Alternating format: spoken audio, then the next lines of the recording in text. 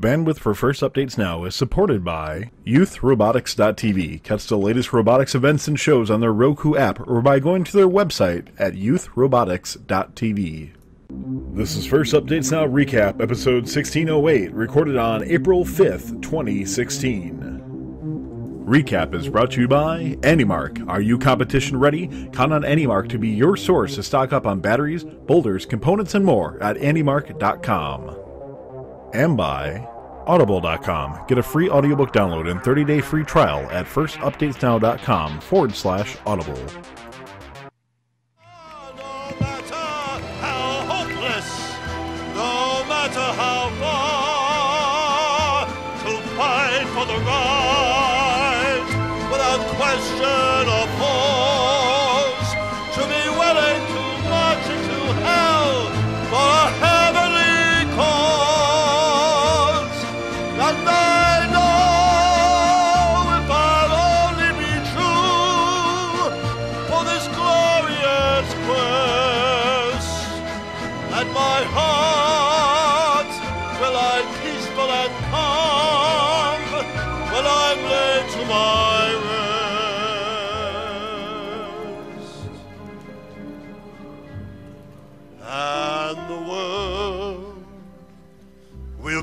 Better for this that one man scorned and covered with scars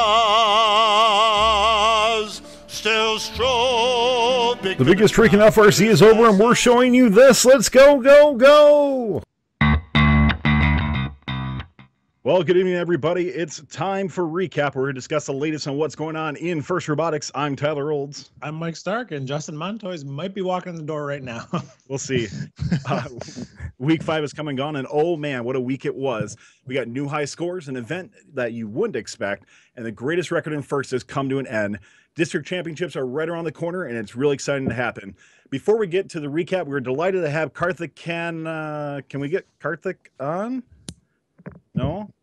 All right. Well, we were originally supposed to have uh, Karthik uh, on today. Uh, he's fell ill. He really tried to make it, and, and just uh, let us know a little bit ago that he just wasn't able to get it on. But we're delighted to have our Karthik Shill uh, today, uh, Shawn Ten, Shawn Lim from uh, Team Six Ten Crescent Robotics, and the winners of the Waterloo Regional uh, on the show today. Welcome to the show, Shawn. Great. Thanks for having me. Glad to be here. Yeah, man, and thanks cool, for Shawn. Thanks. yeah, thanks for coming on last minute. Really do appreciate it. Uh, Shawn is better known in the FRC community as uh, Mr. Lim. Uh, actually, get this, actually went to high school with Karthik. So if we can't have Karthik, it's kind of the you know next best thing, right? Uh, but you guys were uh, founding members of the very first Canadian team, uh, 188, the Blizzard. Uh, you founded uh, FSI, a smart metering tech startup with uh, two other 188 alumni. And in 2007, you successfully exited the company and began a, began a career teaching uh, at Runnymede uh, Collegiate, home of Team 1310.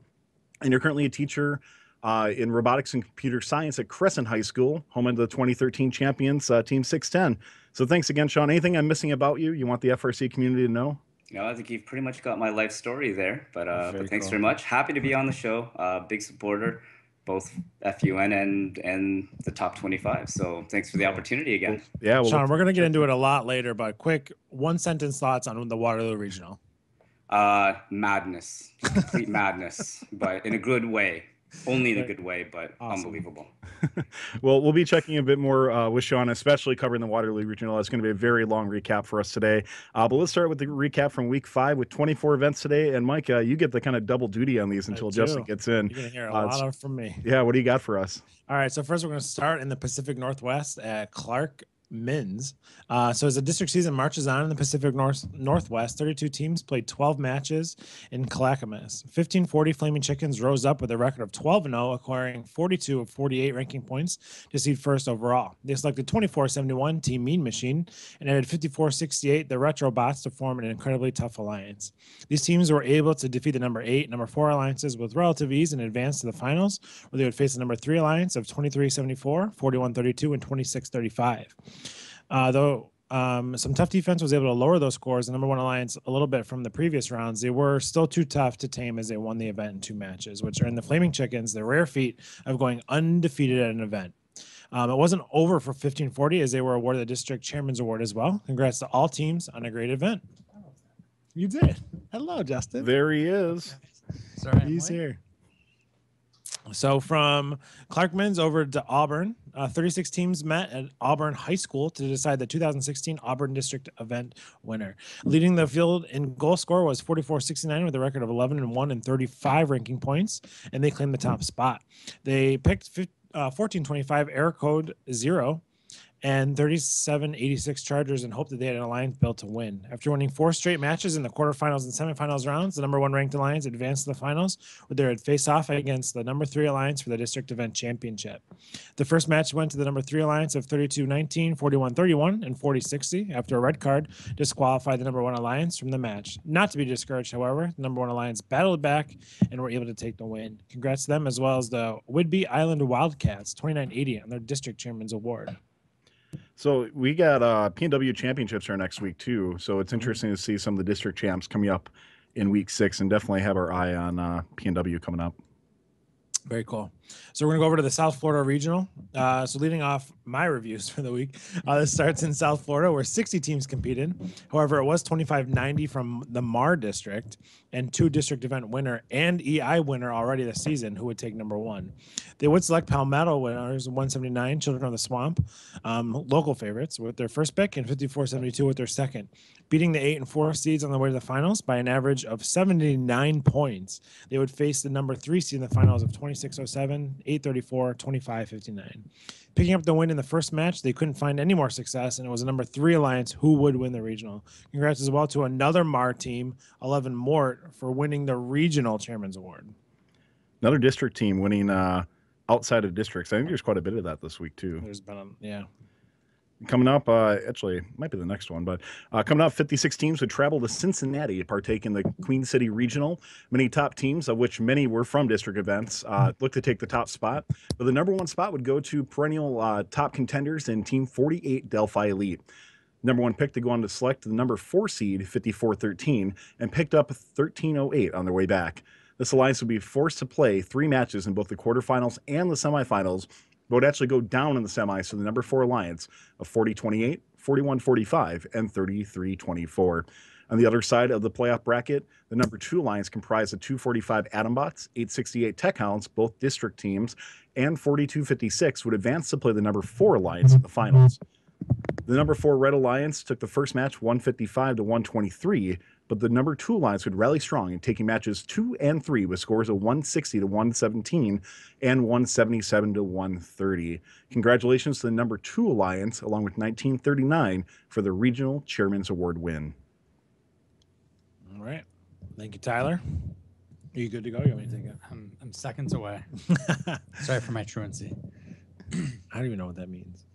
It's like a pattern of being late. That's us. You don't know what truancy means? No, Where we are, Long Island. Yeah. Long Island. All right. Hofstra University played host to 50 teams from New York State and one from Brazil. And after 10 matches, it was second year team 5739 Kingsmen who were ranked first. They picked 1796 Robo Tigers and 4567 the Mechanized Mafia, but, have a, but had a rough go of it out of the gate and were defeated by the number 8 Alliance. After their upset in round one, however, the number 8 Alliance was in turn defeated by the number 4 Alliance of 1156, 287, and 263, who advanced to the finals and set up a matchup between themselves and the number 3 Alliance of 870, 329, and 2875. Much like the rest of the playoff rounds before the finals, there were lots of close matches and back and forth wins for each alliance. The number four alliance took the first match and the third match to take the win. Congrats to them, as well as 1796, the Robo Tigers, who took home their first ever regional chairman's award. So, Justin, did you have an opportunity to see the uh, intro video with the Don Quixote guy singing? I did not. can, we, can we just take a moment to talk about that real quick? So, uh, so essentially, they at the end of Friday closing ceremonies, uh, I was I was on TBA uh, watching with all the different events up, and all of a sudden I see all this chat saying, "Switch over, switch over to to uh, Long Island." I'm like, "What the heck is going on?" And I switch up, and there's this just random dude that you know, without any context, just bellowing on the top of his lungs right there.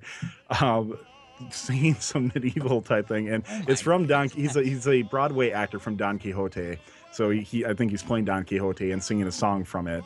But it's it's just the most ridiculous thing to hear It's- this it's guy ridiculous. totally bellow out. what you can say. And he's like That's he's grabbing judges' hands and kissing them and stuff. Oh, get out of here, dude. Oh, good. Oh, it was oh, it was it was great stuff. I mean, it was one of those things where it's you know what I don't get or what was crazy is when they pan the audience, everybody's waving their their cell phone lights and like I thought everybody would just be like, "What the heck is going on?" But They're the totally- audience was into it. Yeah, it was awesome. That's fantastic. yeah. Uh, I guess that's one way to make first loud, I guess. Yeah. All right. Anyways, uh, so we just talked about two MAR teams that competed down in South Florida. So in their absence in the MAR district this weekend, we had two um, district events that went on. First being Bridgewater. Uh, so the Bridgewater Raritan event saw some of the best MAR teams play, but it was 1257 Parallel Universe who also won Mount Olive, who took the number one seed after 12 matches with a um, a 41 ranking score, um, which was five out of 12 matches. They scored four ranking points. They would select 25 uh, Raider Robotics for their first selection and 3340 with their last pick in the draft. Making it all the way to the finals via the eight um, and five seed, they would face the number seven alliance in the finals. Losing in two matches, it was 1676, 5624, and 223 who would take home the blue banner. Congrats to 869 Power Chord on the DCA, as well as 1676 on the Cling Bling by picking up the EI. I know uh, Ryan's in the chat with us tonight, so congratulations. I know it's a tough feat being seven and uh, taking down some definitely higher seed alliances to get there. So um, over to West Town. Uh, so the other MAR event that was happening this past weekend was in Westchester, PA, which is one of my favorite places in Philadelphia. Um, downtown Westchester is really really cool. It's like a really small town feel, and uh, they have a cool diner there too, Westchester Diner. But anyways, um, 37 teams competed in the district event. Um, they all played 12 matches, but it was 225 Tech Fire who won um, Springside Chestnut Hill a couple weeks ago, who took the number one seed. They um, selected 1640 Sabotage and 1391 Metal Moose with their selections, winning in six matches with scores ranging from 145 to 184. The number one, the number one alliance would take gold. Congrats to 1218 Vulcan Robotics on the District Chairman's Award. And shout out my buddy uh, Rizzo for on sabotage. They got an awesome team. Mm-hmm. All right, moving on to Midwest, going on their 20th year. And man, I mean, I feel old because I was at Midwest, you know, 10, 14 years ago, but going on their 20th year, I thought you were going to say it the first one. yeah, no, not quite. Uh, but uh, going on their 20th year, the Midwest Regional never fails to impress. And I, I think they've kind of taken a dip a couple of years, but I think this year they definitely, you saw a huge step up uh, in the quality of teams, such as 111, 1625, 1736, 1756, 2062, 2338, 2451, 4143, and 4329. Uh, many of these top teams were already on their second play, uh, looking to improve on their previous performances but it was the Central Illinois finalist in 1736, Robot Casserole, who took the number one seed and drafted the number four seed of 2451 PWNAGE, which, by the way, was the team last year at the Midwest Regional that actually declined themselves from being in the playoffs because their robot broke. So I know they were itching to get back uh, into the elimination rounds. And they picked up 3352 Flaming Monkeys. Number one Alliance would face some trouble as they ran into the number five Alliance in the semis of 1625, 2062, and 5822, losing the first match. But the number one Alliance rallied and gained steam, winning the next two matches to push them to the finals against 111, whose performance vastly improved over CIR, 2338 and 42-41. Number one Alliance uh, pushed ahead and won both matches with scores of 152 to 121 and 176 to 140. Congratulations to the number one Alliance and their regional victory, the 20th Midwest Regional. And congrats to our buddies, uh, 2338 uh, with Ryan Gwynn and their uh, Regional Chairman's Award. So get this um, they got a Cling Bling here. But Nick, do you have that picture you can show? They don't like Cling Bling. So they, How zip, dare so they. they zip tied. They, so Ryan sent me that picture. He's like, we don't do Cling Bling. So they zip, zip tied their, uh, yeah, right. you know, Their this medals is your together. jacket, right? they don't like Cling Bling. We just won't give it to them anymore. That's all. yeah, I guess they don't get it. That I think it was call. just that one person, but Yeah. All right, on the Campbell. Campbell. Was that me? Yeah. Sorry, I got Carolina. distracted. I can read it for you if you want. I owe you one. That's all right. No, I'm good. all right. So one of the newest districts hosted on the Campbell University event in Buies Creek, North Carolina. 32 teams showed up, but it was 1533. Triple Strange, who took the number one seed, after not making it out of the semifinals at their two previous district events. They would go on and select 2655, the Flying Platypi, and 55-18 the techno wolves with their selections just dominated the competition throughout the playoffs they won um, this event really mightily. Um, congrats to them as well as the 37-37, the Roto Raptors on their district chairman's award. Short and sweet. Back to you, Tyler. Back to you. That was short and sweet. Caught me off guard there. All right. but Howell, uh, we got four FIM events to cover this week, so we'll get through these. Uh, there was some great play to be had at all these events this week. We'll start out with Howell with some many notable teams, including 51, 67, 68, 70, and the 494 Twins, and 28 34. The legendary 67 Hot team would take the number one seed with 39 ranking points. Hot would select a already Klingling winner in 28-34 Bionic Blackhawks and their powerful pitching machine, and scooped up longtime veteran 51 Wings of Fire. Number one alliance faced little resistance in the finals, where they'd face a number six alliance of 43-62, 35-36, and 36-68. While these matches were a bit closer than the dominant performance the number one alliance had previously, the number one alliance decisively won the first match 159 to 124 and with a couple last second scores took the third match and the gold with a 189 to 181 victory congratulations to number one alliance and to 4776 SCOTS Bots in their district chairman's award Scott Spots. Scott that what that's Stotts. From, Hey. Mr. Scott, what's he going to do? What you gonna do? Make a dream come true. uh, moving on to lake superior Okay, we'll just skip over that Moving on. Just turn our mics off. uh, Lake Superior in uh, Sault Ste. Marie. Over half the teams of the event would be over the number 5,000 or higher. Um, well, over 5,000, right? Uh, here we saw veteran team 503 Frog Force completely obliterate the qualification matches with a ranking score of 41 in 12 matches, which was over 6 RP higher than the number 2 seed and the number uh, and 10 higher than what the number 4 seed was. So hugely dominating performance by 503 and quals. They'd go on to pick uh, 29-59 and 52-47, and they saw great success in the quarterfinal and semifinal matches. It looked like a smooth sailing until they ran into the number two alliance of 3595 Gallic Tech Invaders, 5505 V2 Robotics, and 2832 Livonia Warriors. Though tough defense would be played in both matches, forcing alliances to score low and miss captures, it would be the number two Blue Alliance that would take both matches with scores of 135 to 103 and 123 to 115. So a big win for the number two alliance, uh, along with the Cling Bling, going to 2959 Robotarians for their district chairmans and finalists awards. So here's an event that I previewed last week, and to me, I thought had the most powerhouse teams uh, for FIM, and that would be in Troy, featuring top tier teams like 33, 217, 469, 573, 862, 910, 1718, and the EngiNERDs in 2337. The buzz was in the air when 33, the Killer Bees, took the number one seed and selected the number two seed in 1718, the Fighting Pi, and 5068, the Outsiders, with the very interesting team motto of "Oh, kill 'em." So, right.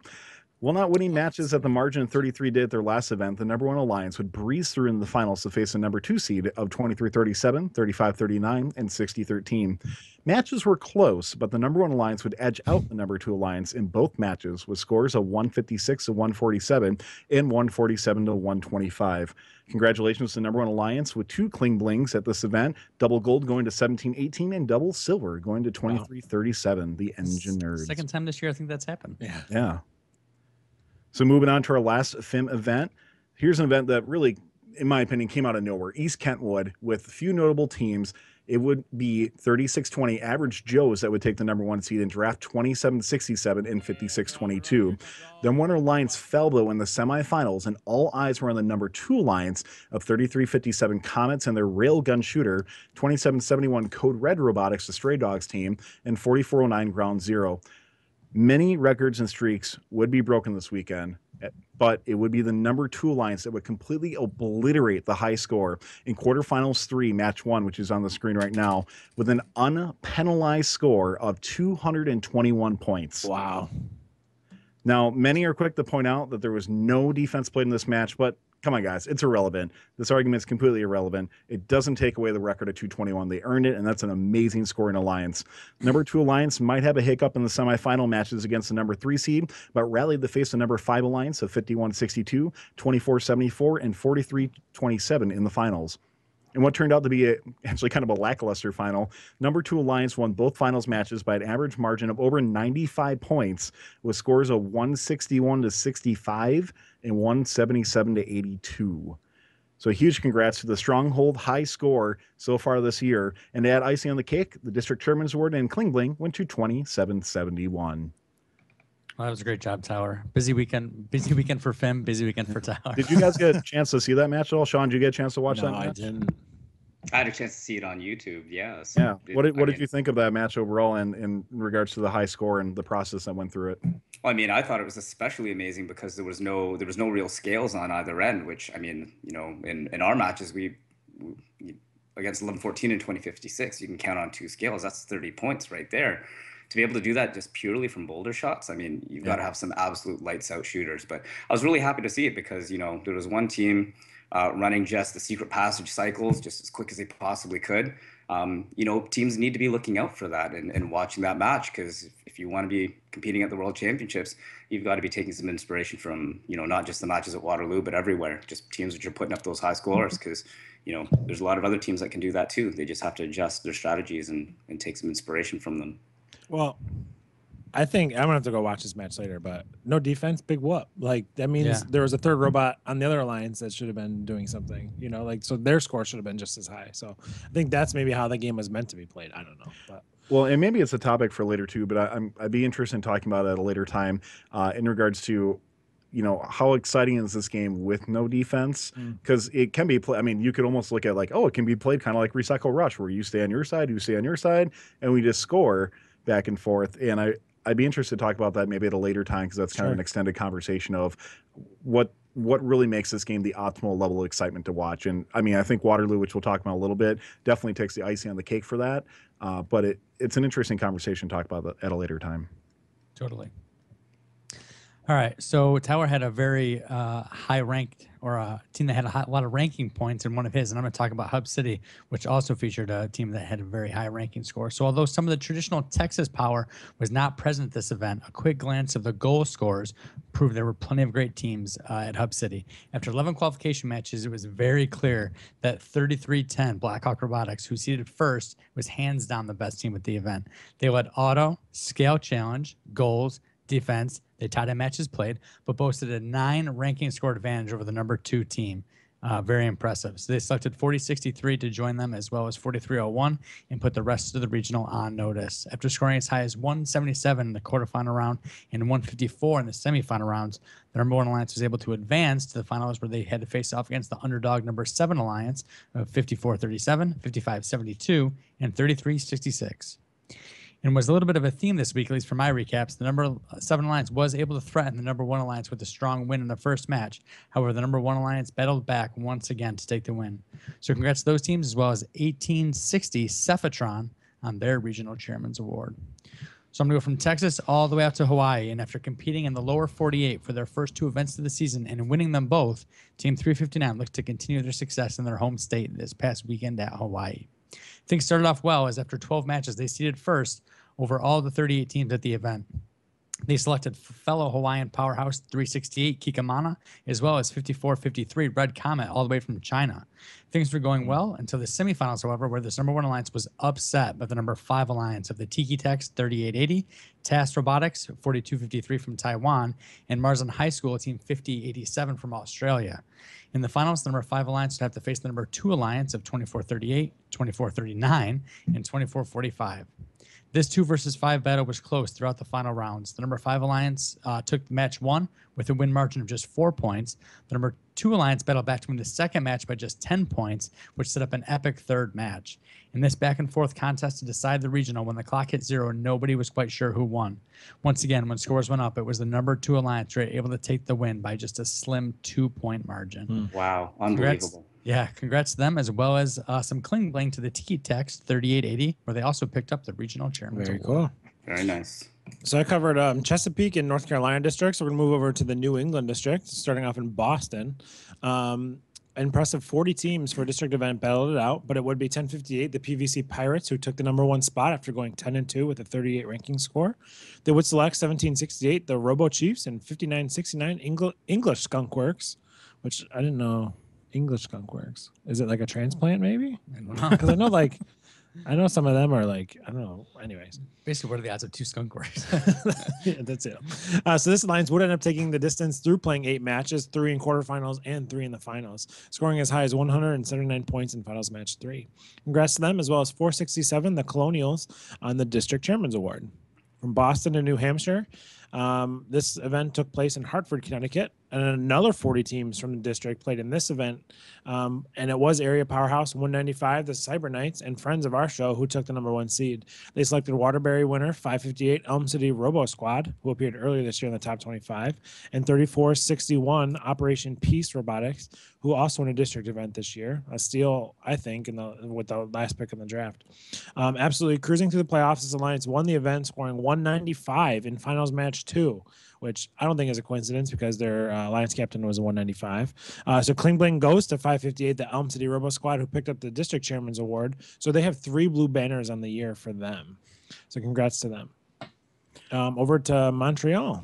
Yeah. Let's all say it together. Because oh, go ahead. Sorry. Say what together? Festival de. Ro- Festival de Festival de Robotique. Robotique. There we of go. course. Anyways, before that, are we, were we gonna, gonna go over to Sean real quick? Um, yeah, we'll get him in just a little bit. Oh, um, so I'm trying to catch up on. No, that's all right. Don't worry about it. Uh, in Montreal, you know, somebody in chat mentioned uh, Hawaii looks like a party. The party's here in Montreal. So if you haven't seen this event, this event is literally a nonstop party. Like they don't stop dancing. It just goes and goes and goes.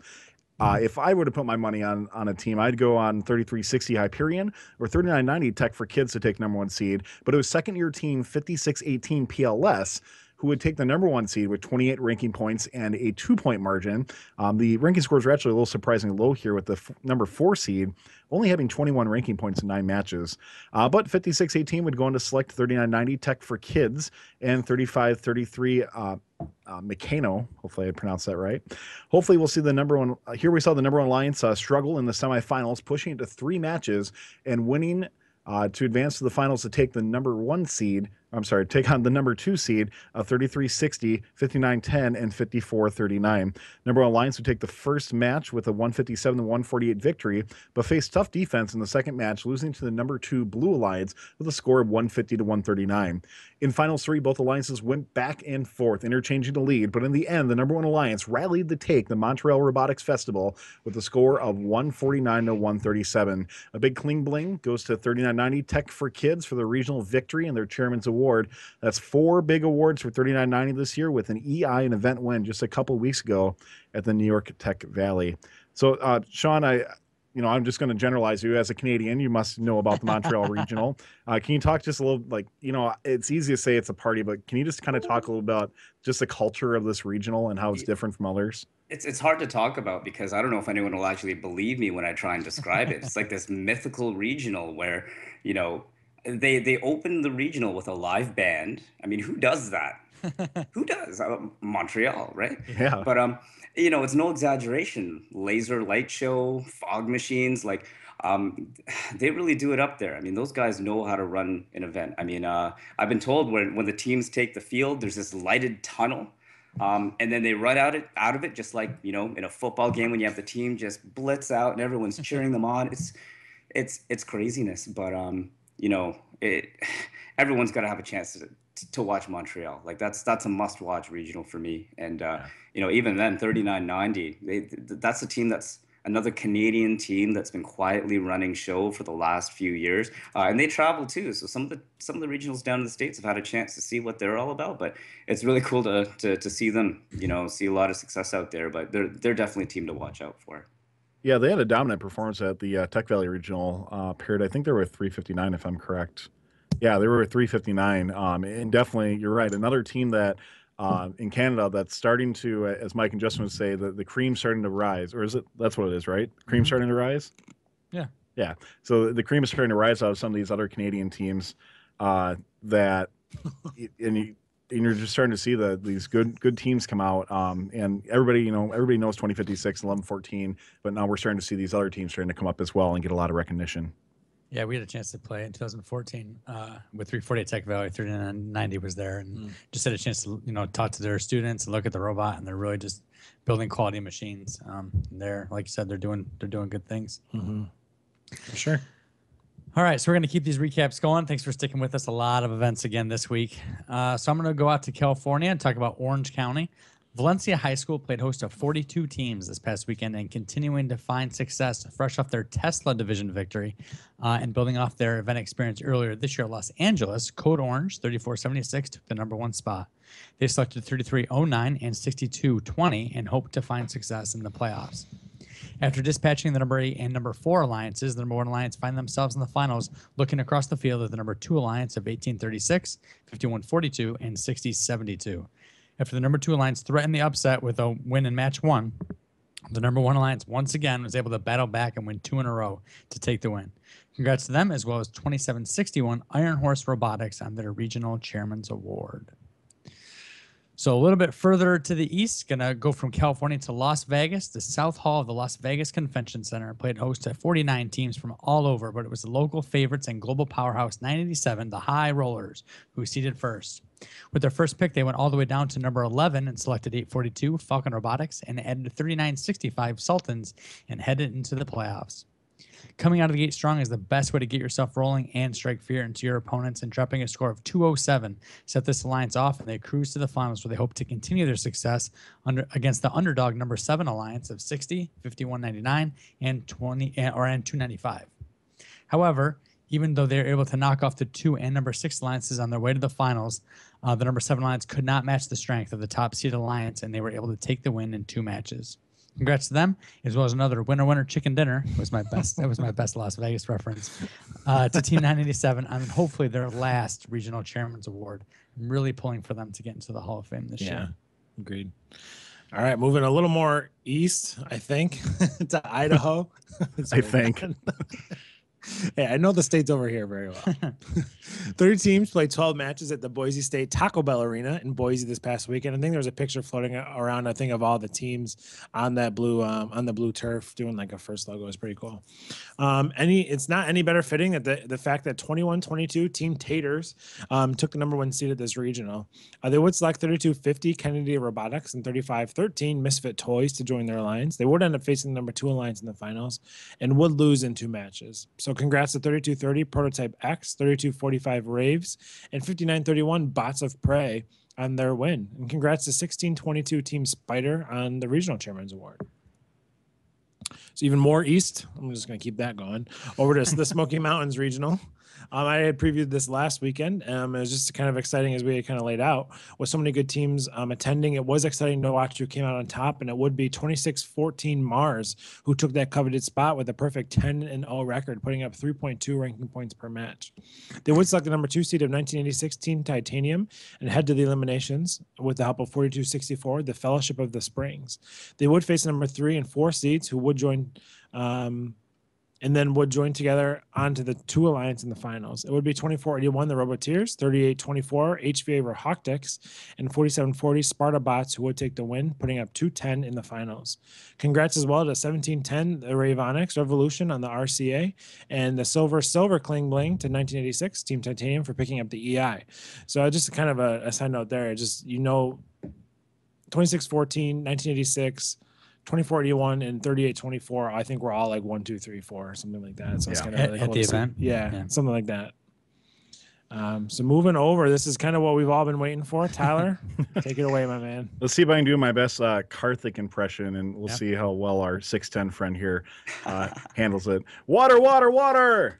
Game, game, game. Oh. Because we're all waiting for it, right? oh, it's, Wow. There's still time, you know. Bum, ba, dum, dum. Uh, no, shout out to Waterloo though. I mean, they, they run an amazing event out there. I mean, you know, world class, arguably one of the best in the world, arguably maybe the best in the world, but maybe we'll discuss that one as you move along, Tyler. All right, well, let's talk about the event. Yes, Waterloo, the Battle of Champions. It turned out to be a glimpse of what Einstein could look like this year.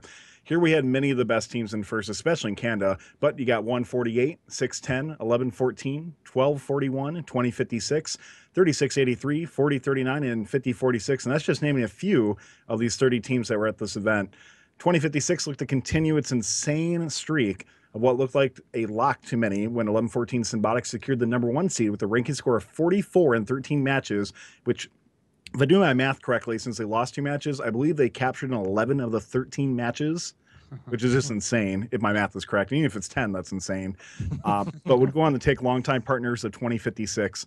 Number one alliance would look, in the, look to swoop to take in a rookie team of 5912, seems to be a common theme with them. Uh, Cheesecake was in the air for many alliances, and we're going to follow both sides of the elimination tournament uh, at Waterloo. So, starting with the number one alliance, Uh, running the difficulty zone, the semifinals, the first match of the semifinals, 11 14 seemed to have connection issues, and the number one alliance missed a capture and lost their first match. Number one alliance would rally back strong with scores of 194 to 197. Uh, I'm sorry, 194 and 197 in the second and third semifinal matches to overcome the number five alliance and go on to the finals. But it was over on the other side of the semis that all eyes were on in this elimination bracket as alliances two and three locked horns in the semis. The number three seed at 1241 Theory 6, 610 Crescent Robotics, I keep wanting to say Coyotes, and 3560 uh, Ching Robotics would take the first match. And the number two alliance comprised of 3683 Team Dave, 148 Robo Wranglers, and 5032 Falcons with the number two alliance making a comeback. 148 and 3683 got the double hang and won by 10 points. Match three was a different story, though, as the number two alliance defensive bot in 5032 had connection issues and was unable to make it back to the blue alliance courtyard to secure a capture. The number three alliance would move on to face the number one alliance by taking the third semifinal match of 207 to 160. So here we are, the finals. What everybody's talking about this week. It seemed to be a bad string of luck, though, for the number one alliance as 11 14 face additional connection issues in finals one match after being disabled for half the match. The number three alliance capitalized with a 189 to 115 victory. With two big streaks on the line, one for 11 14 for uh, not getting a regional win in a year, and 2056, the number one alliance, fought back hard in what was a brutal final. The number one alliance uh, would take match two, 200 to 177. Regardless of streaks, finals match three would go down in the record books with 410 combined points between both alliances. As the great Dan Green would say, everybody's moving, and all six robots were at full steam in this match. The key difference were the defensive strategies that were imposed. The number three Blue Alliance opted to keep their defensive robot in the neutral zone, that's 3560, instead of the courtyard for the majority of the match and guarded boulders near the secret passage. And the Red Alliance uh, returned them and they just couldn't get them through. This delayed the number one Alliance enough to score one less boulder than the Blue Alliance. And with only a few seconds left, 610 and 1114 were hanging on both ends of the tower on opposing sides. And 2056 tried once, twice, and their third time to immediately grasp the bar with two seconds left was not able to fully ascend the tower, resulting in the number three alliance taking the Waterloo Championship with a score of 210 to 200 a huge, huge, huge congratulations to the number three alliance for the regional win. And we got to take our bow and hats off to the Kings of regional victories in 2056, ending a streak that will never, never be beaten of 23 consecutive regional victories. It would be a nice band-aid to the wound, though, for 2056, as they did get the Cling Bling with the Regional Chairman's Award uh, and a Cling Bling for 1241 getting the EI and regional win. So uh, before we get to Shawn, Mike and Justin, um, you guys were at Waterloo this week, and you put together a great video of the event. So before we get to your perspective as well, uh, let's take a look at this highlight video that you two put together. Oh, there's no audio, so we can just talk over it. But There's no audio. no. I thought there was. Oh, is there? I Yeah, don't think, so. Well, let's try it. Nick can you go ahead and show it. No.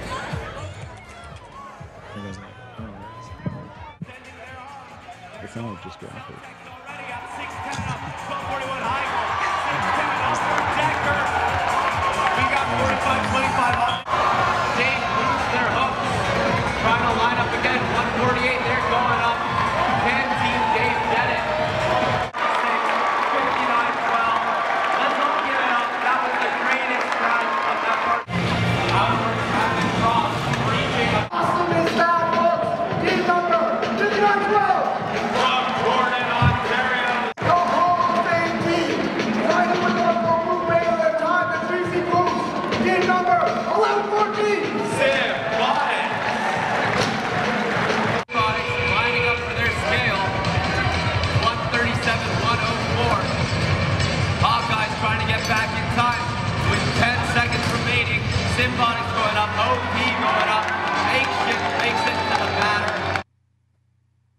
So, Mike and Justin, as Mm-hmm. 2 people who did not have teams at the event, first off, thanks for a great video on that.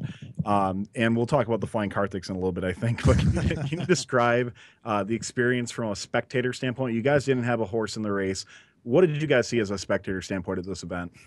So I think we're more than a little spectators at this point. Just we've been going up there for a while now. The hospitality that we're always shown by um, all the Canadian events that we go to is um, just unbelievable. So we just want to like thanks first off to John Hobbins and Mark Bredner and Karthik and Shifa, the volunteer coordinator, um, just for kind of just treating us really well and all that. So we can't like specifically speak if we had just shown up to the event because we kind of know it on a more in-depth level. I would kind of say, but being there just in that atmosphere is just something uh, that's just unreal. The amount of teams, the amount of successful teams, not only this year but in years past in Canada and in first, um, is just you knew that it was going to be awesome. Like the um, the atmosphere there was just of um, something you don't just don't find at any other um, regular regional.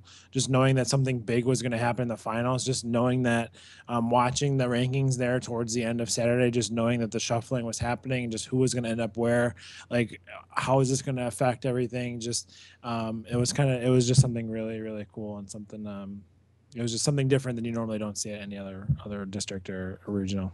Yeah, I think you said it best. Every everyone that was there, as much as it was, you know, Kenny events are always like very friendly and cordial, and the sportsmanship is always extremely high. Everybody in the back of their mind knew the stakes that were that were there, right? With the incredible teams that Tower you talked about in your recap, we, we knew that the 2056 streak was in danger. We knew that 1241 610 had incredible machines. We knew 1114 hadn't won a regional yet. We knew 148 148 was coming up from Texas to try to play some of these, you know, incredible teams. There was a lot of kind of almost unspoken at the event backstories that everyone that was watching was waiting to see how it would all play out.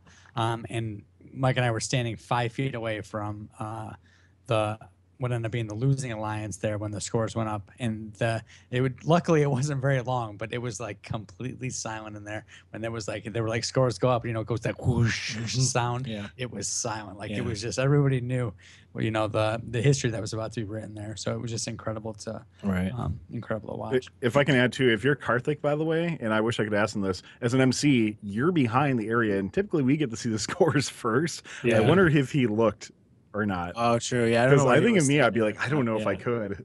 I, I was gonna. add- That was one of my questions for him. Was how do you balance that as you know a, a key a key volunteer and having a team there? But um, it was it was something spectacular. Twelve forty one and six ten just blew it away. Twelve forty one is an amazing machine, and having six ten there um, as well with them just side by side and the history that they've had together. So that was another story. Just the Yeah. 2013 World, World Champions. together. 1241 pick 610 same thing like it was just like you couldn't have write this any better and um, just the atmosphere that first canada has no matter the outcome that you just knew there was going to be mutual respect and love and um, congratulations all around and that's exactly what we saw um, you know 2056 kind of knew this day was coming eventually you know i think they've already have been mentally prepared themselves way long ago for this moment so um, to that, and then to see um, the Blue Alliance come over and congratulate them and kind of give them a heads up. And, you know, it was just it was something really really special. I don't know where to go from there, but Well, let, us go to let's go to Shawn here, Yeah, man. I so, mean, you Shawn, I were at the noticed- I noticed that you know watching you guys, especially Thursday and going into Friday, I was concerned at- at first. I'm sure you're a little bit too. You know, the shooter kind of seemed just a little bit off. Well- and, you know, can you just talk about the kind of the emotional roller coaster of the event for your team and kind of how that how that played out for you guys? No, emotional is really, really the word that sums it up because, you know, this was this was our second regional. We're only competing at two this year. Uh, we we essentially got our butts handed to us at GTR East. You know, we did not perform well, and this was our last chance to try and qualify for Worlds. And so, you know, in terms of the pressure that we were feeling, um, and knowing who we were up against, uh, I, I was kind of imagining, you know, the Chief Delphi thread, you know, the best robots not to qualify for World Championships. Boom, six ten, right there, right? But um, you know, we really did feel that pressure. But um, you know, Waterloo was also a small event, which which made things really, really interesting for you know us Yeah. quote unquote powerhouses. And and honestly, on that Thursday morning, uh, when you talked about the powerhouses, I, I wasn't 100% sure if, you know, 610 should have even been in that discussion because, you know, I, I kind of saw some of the discussions. Well, you know, what does our robot do? Is it just a low goaler? Does it actually shoot in the high goal? And uh, I'd love to tell you that, yeah, all along we designed this robot to shoot in the high goal, but it was never really a priority. And uh, it was a problem. Like we were, we, we, we designed it such that it could shoot in the high goal, but it, never really did it well enough to make it worthwhile to do in a match. Uh, for the teams who are really strategy oriented, if if you do the math, you have to hit something like 80% of your shots, let's just say, in order to make it worthwhile to shoot. If not, you might be better off just putting low goals in and, and not missing.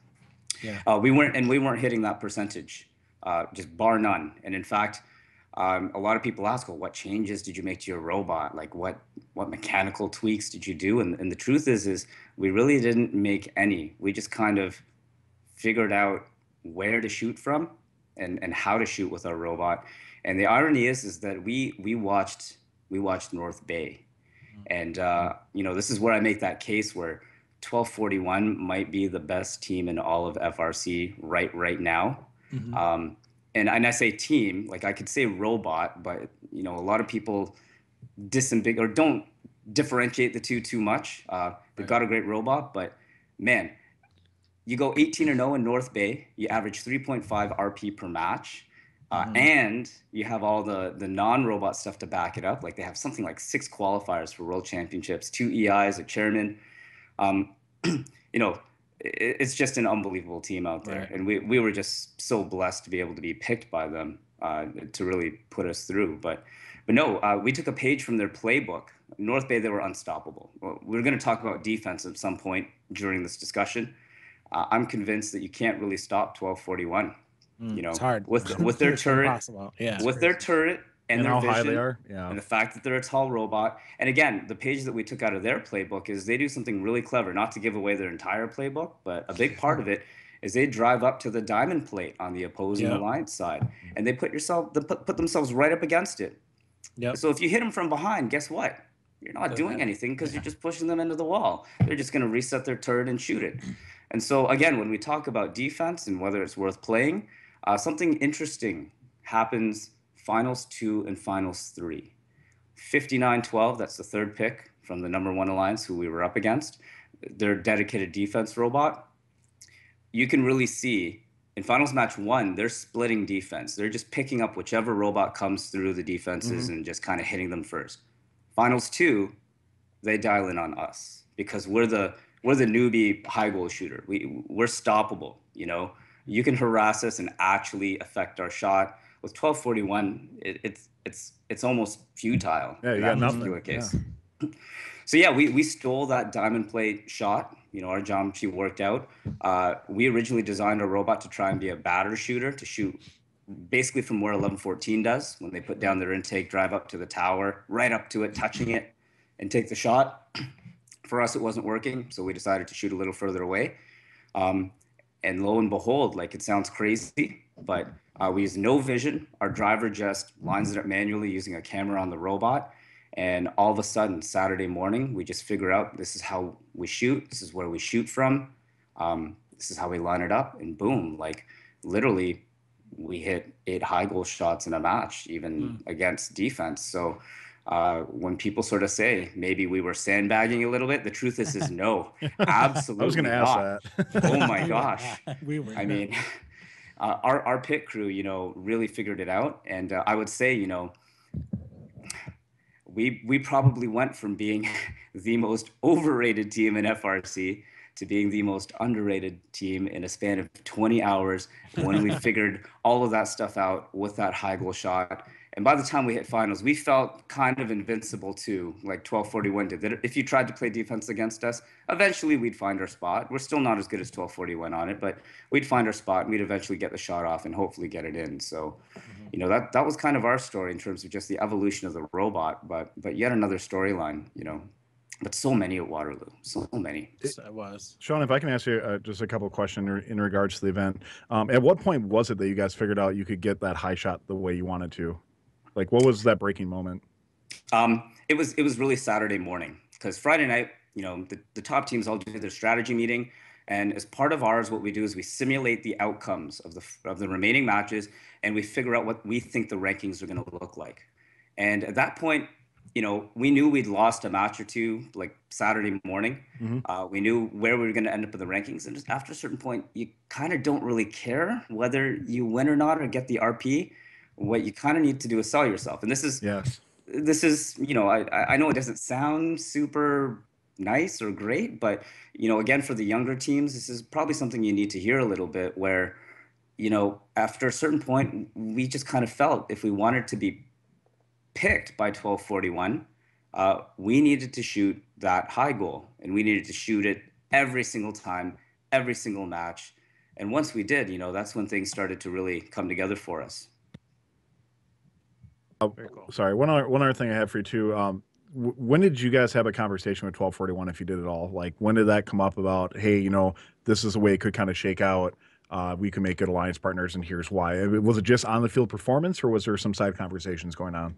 No, again, 1241 is another team that really does that s- max sim- match simulation um, on that Friday night.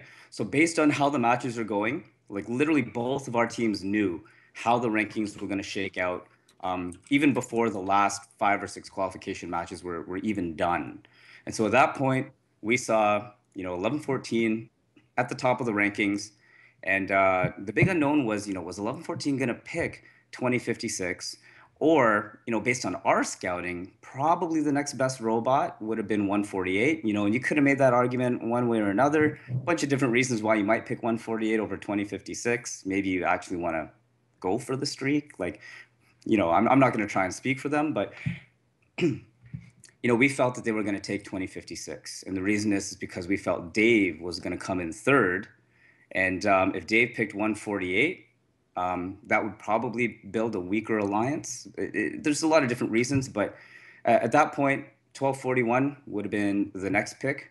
And uh, at that point, we just kind of knew that we would have been the next best robot to, to fill that role Sure. and we sort of knew that 1241 felt that way. And you know our mentors kind of got together and just said hey this is how the rankings are going to be. We've already figured it out. Um, are you going to pick us? Because we would love to work with you. And it was it was mutual. We both did the analysis together. We both came to the same conclusion. And that gave us a few extra matches to plan. And in fact um, it, it allowed us to sort of look at the last few qualification matches as well and, and relax a little bit and just scout out the opponents and, and figure out you know how we were going to play everyone based on how those top four alliances were going to shake out but the truth is is we felt that we knew what the top four alliances at least for the first picks what they were going to be um, significantly before the qualification matches were even done So, just for my own kind of curiosity, and maybe others as well, how for how, how long have you ran your scouting meetings that way, where you try to simulate the rankings? And then my next question would be how how often are they, you know, accurate enough where when you actually get to that point on Saturday where you have to make those choices, um, is either exactly how you thought or completely different. Okay, well, they're always they're always completely different. Um, but the nice thing is, is you set yourself up with a baseline. So if everything goes as expected, you know how they're gonna, you know how they're gonna turn out. But what we do is we highlight critical matches between the teams which are ranked above us, slightly below us, and then based on the outcomes of just those matches, we we just adjust them. And so once again, in this particular case, um, we took a few unexpected losses, so we knew we were going to be out of the the top eight for sure, uh, which actually made our lives a little bit easier once again because we started high goal shooting.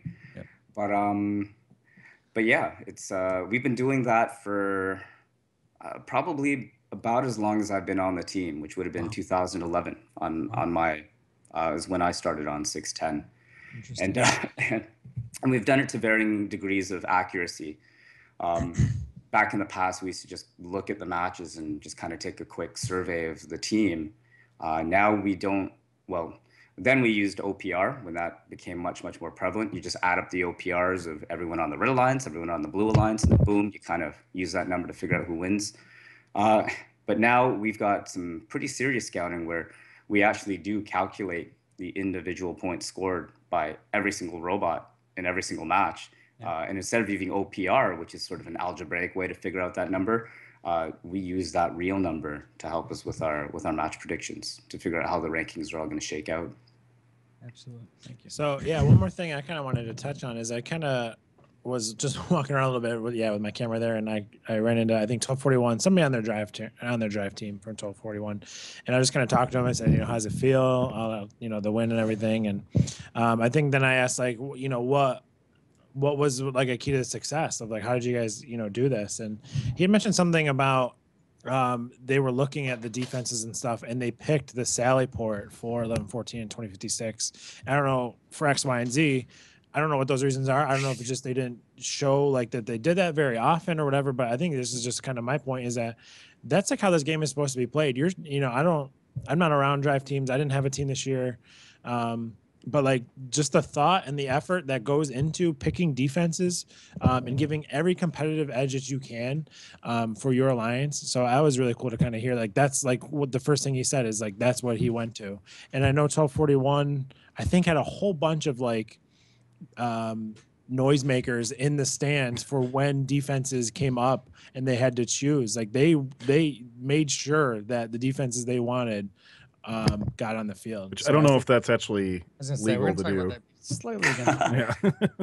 Okay, but guess. at least the effort there, I guess, is that based in point. Like if Yeah. that is illegal, then at least they're aware of that this is a this is a time where we need to you know affect the outcome of our matches. So You know, Mike, Uh, you're right. Let's take away that award and give it back to uh, 2056, 1114. there, you here go. we go. No, sounds that, that, So whole, that whole defense selection process, I mean, in terms of how much it affected the outcomes of the game, yeah, uh, there's probably a lot of people watching or sitting going, ah, yeah, you know, maybe a little bit. But the truth is, is that if you can really do a good job of it, you have no idea.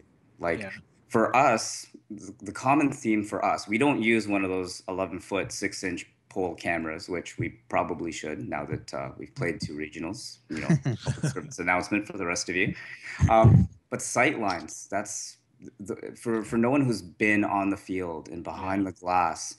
Uh, one drawbridge in the wrong spot, or a portcullis, or even a sally port, and um, you know, I don't want to give away our strategy too much, but you know, we cycle into our through the low bar into our own secret passage, but if you're kind of really careful about where you put certain things and look at the driver stations, you can throw stuff up where literally you're going to prevent 610 from seeing anything in between the low bar and the logo that we like to shoot on or, or something of the sort. true. Um, you know, there were some really weird things that came up, even even when we're talking about autonomous.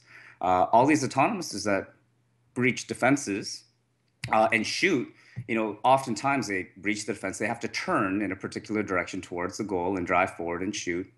Um, when you put sort of the low, bumpy, static defenses in certain spots, you can cause your opponents to crash into each other during autonomous and, and basically prevent them from running it. Like these are all things that really didn't emerge until we were playing at a really high level at Waterloo, where we're like, okay, there's two robots that have high goal autonomouses, and we know that they like to go through the low, bumpy defenses. Um, do we want to put them right beside each other to debate them into crashing into each other? You know, so uh, a lot of really, really, really interesting defense selection things that came up with Waterloo that, you know, we're a pretty good strategy team, but it didn't even cross our minds until you finally get thrown into it and you understand and realize that, wait a minute, the margin of victory in our finals match three was only 10 points, right?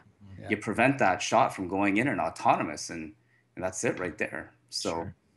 um, but yeah, drawbridges were not pure, were not popular. Um, even though I say drawbridges would have affected, uh, you know, the sightlines tremendously. And in Canada, this is the weird thing. You look at the drawbridge statistics in in our Canadian events uh, on blue lines; they're literally like zero percent. We just Yeah. But you would think people would be throwing them out every match. But up here in Canada, again, I think it's just they affect the sight lines even for you when you choose to put them out there for your opponent. True. You're blocking yeah. your own view so much that Yeah. you know our defense coordinator we have a student who does this analysis he basically just said you know what i'm not putting the drawbridge out there for you ever or for the opponents ever again because it actually affects us more than is Absolutely. a detriment for our opponents so Yeah, because it's closer to you. Yeah, it's that much bigger on your end, right? Well, hey, hey, Shawn, uh, I just want to break in. Congratulations to you guys. It was a fantastic event at Waterloo, and I, I think the whole FRC community. If you guys didn't see it, you got to go uh, and and just watch some of the uh, matches as they went through, especially the semifinals and finals. It was some of the best matches you will ever see in first. So The good thing congratulations. is, is we're not done talking about it. Yeah, it's yeah. kind of you might be you might, you, you might not see as good matches as that again until you get pretty deep into the playoffs at championship and Einstein level. Yeah. just un- and we'll definitely hit on it again later in the in the show too. So I think we're gonna kind of skip our previews and we're gonna go right to our soapbox, which you kind of took this week. So Yeah. What do you got for us, Justin? So it's kind of a dual a dual That's soapbox. true. Mike and I have It's talked about this for a long time. Um, so this week's soapbox might be a little bit of a touchy subject because I know that for some teams, winning an award, any award, um, might only happen once in a four-year span. For some teams, maybe longer. Some teams that maybe been around for eight or ten years have never won an award at all. Um, so, but I personally, and I know that other people as well, it's always a little bit disappointing when I see specifically design awards go to a team that like went for like a specific mechanism. The judges even say, you know, mention that mechanism specifically in the, you know, the award speech, but it didn't work Right. right? It just like I don't understand. I guess I don't understand necessarily why that happens, and um, it's just a little bit of a bummer for sometimes. And I know maybe it's maybe the rich don't always have to get richer, but for teams that try to spend a lot of time designing really pure, perfect mechanisms, um, aren't always rewarded for that.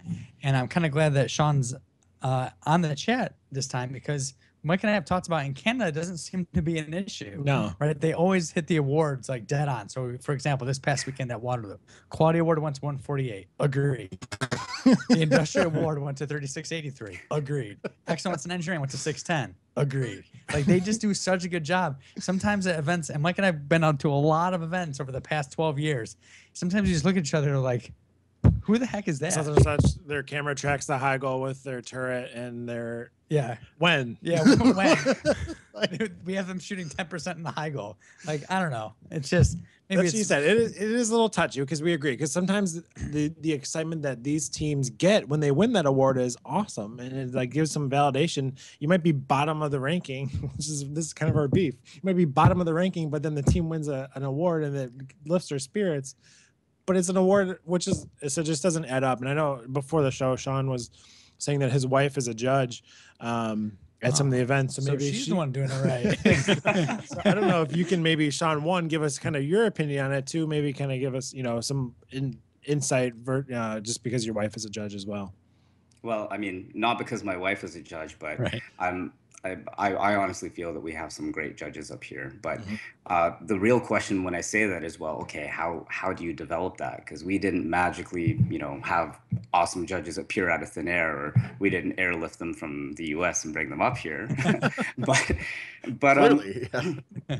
but uh, you know the judges have a tough job because when you when you rattled off all those awards, um, I'll be honest with you. At, at Waterloo, quality award went to 148. Yeah, I agree. Uh, you could have given 148 the industrial design award. You could have given them the engineering excellence award. You could have given them all the technical awards, Yeah. honestly, because that robot is just phenomenal. So, which comes into which gives a little light into you know the real job that, that the judges have to do in that you know they obviously aren't going to give 148 every single award right uh, there is a certain amount of sharing the wealth a little bit i, I- I don't think anyone's going to deny that I, you know i'm not speaking on behalf of first to say that it happens officially but um, you know it, it, it- it seems to happen uh, but having said that you know when you manage that process uh, what's happening there is that you're essentially giving the award to a team which may actually be less deserving, but you still want to give it to the next most deserving team. Uh, in some places, that's easier to do. Like at Waterloo, you're probably going to have you know five or six teams which are clearly deserving of that award. Uh, some other regionals, it might be a, a much trickier decision. But really, at that point, you really have to lie, rely upon your your super senior judges. Now, it's no coincidence, really, not in my opinion at least, that the two volunteers of the year at Waterloo this year, they were both judges, and and not even just like your regular judges, they were your judge coordinators. And so, you know, I mentioned that my wife is a judge. She does the non-technical awards, by the way. But um, when she went into the process, one of the things she told me was that, you know, I'm really afraid of doing this because I really don't know very much about robotics. But after that first year, she basically came back to me and said, you know what? It, it was really the senior judges, the judge advisor who who took the time to really mm-hmm. step us through the process to understand what we were looking for and and you know after a year after two years she's sort of saying yeah like i i feel super comfortable i know exactly what i'm looking for now uh, but that's so hard to do it, it's really easy to hear me say this and say oh yeah every region in the world can do that uh, no you can't it's hard you got to find those initial judges first and you know i was just talking to Mark Breadner about this where you know I, I also feel that we're one of the regions that treats our volunteers the best Um, Mhm. you know, we're kind of known for having you know great food. Uh, you know, Ah, we, yep. we recognize them. We, you know, uh, and it comes from the top down. It comes from the staff at First Robotics Canada, right? But um, you know, it, there are little things like that. You build it up, and you, you, you get that solid core of senior judges, and and that's where it all happens. Cool. Fantastic. So, So go if, ahead. if I can add one Yeah. thing on the, And there's two can different. close it out. Go yeah, ahead. there's two different things just that that, that kind of go on this. One is um, with the awards. Uh, I'll call out my team for an award that we won that I totally thought didn't make any sense to me. In 2014, uh, we were at the Wisconsin Regional, and our robot just got beat the hell. I mean, our our drive fan was like caved in that sort of thing, and we won the Industrial Design Award. and uh, you know, sure that was awesome, but yeah, definitely it was one of those things where it's like we won. We're like, there's no way they're talking about our team. Wait, they're talking about our team. Why are they talking about our team? Okay, sure. Um, but so maybe to give just a little bit of insight into the awards process too for it. Uh, one thing you notice this year, if you're at, a, especially if you're at a traditional event, there's only three awards given away on Friday now, and only one of them is a team award. All the other awards are given away on. I'm sorry, I should say day three or Saturday for many events. Um, and kind of the unfortunate thing is it's kind of taking a little bit of a Lego League path now, where Mhm. for technical awards, and there's a couple exceptions, teams can only win one award, which means that let's take uh, the Industrial Design Award, for example. There might have been a team that was better deserving for that, but if they end up winning EI or Chairman's or something like that, they will not win that award. Mhm.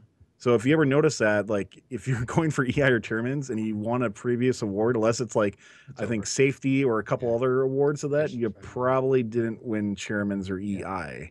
Um, so I think that has a lot to do with that. Is the way that First is going, where they're distributing more awards to more teams now, and I think that's why we might be starting to see it a little bit more often. Um, and like you said, I mean, there's many teams. I think we kind of get a lit. I don't mean to sound elitist or something like that, because there are many deserving teams that win these awards, and those teams that do, I'm very happy for them. Especially, you know, there are like you said, teams that might not have ever won an award or something like that, Sure. and that's what First is doing, right? With distributing these awards more, is to get more of those teams engaged uh, in that as well too. But I think that's where we're seeing a lot of that issue is that we're giving away. Uh, how many was it? I think Wisconsin day t- day three we did 19 awards on Saturday, and that's it. Every single award went to a different team, with the exception of your performance awards and your safety, and I maybe team spirit. I, I don't remember which other one it was. Uh, gracious professionalism, I think, is a different one because that's a voted on award by peers. It just, and I think the the heart of the our beef is that it's not even close. Like we understand that, like okay, third, fourth, fifth, you know, you might have to go down the list a little bit, but when it's the bottom five, bottom six or seven of a 50, 60 team regional, and that's where I think our beef comes from. Like, Yeah. It doesn't make sense, but I don't know. I could keep talking about this for a Yeah, while. I don't Yeah, know. right. Did you have something else, Tyler, or did you want to keep going? No, let's keep going. All right. I think we're gonna move on to what Einstein strategies of the week. Yeah, let's do it. That's so, uh, yeah, every week during competition season, we're going to continue to feature these uh, amazing strategies convinced by our friend Ryan, Ryan Gwynn. Once again, congrats on that Chairman's Award last week, uh, Ryan, on your alumni team. Uh, but he's got some strategies he thinks will uh, get teams on the Einstein. So let's take a look at what Ryan has for us this week. Now get ready for Ryan's awesome Einstein strategies of the week.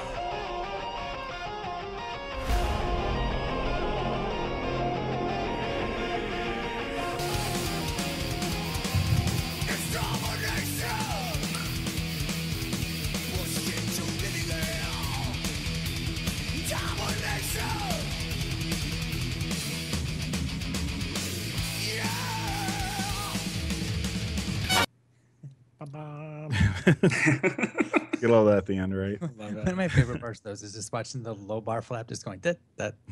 You know, Uh, so thanks again, Ryan, for, for putting that off for us every week. It's good to have a, a little bit of side humor that we have as well.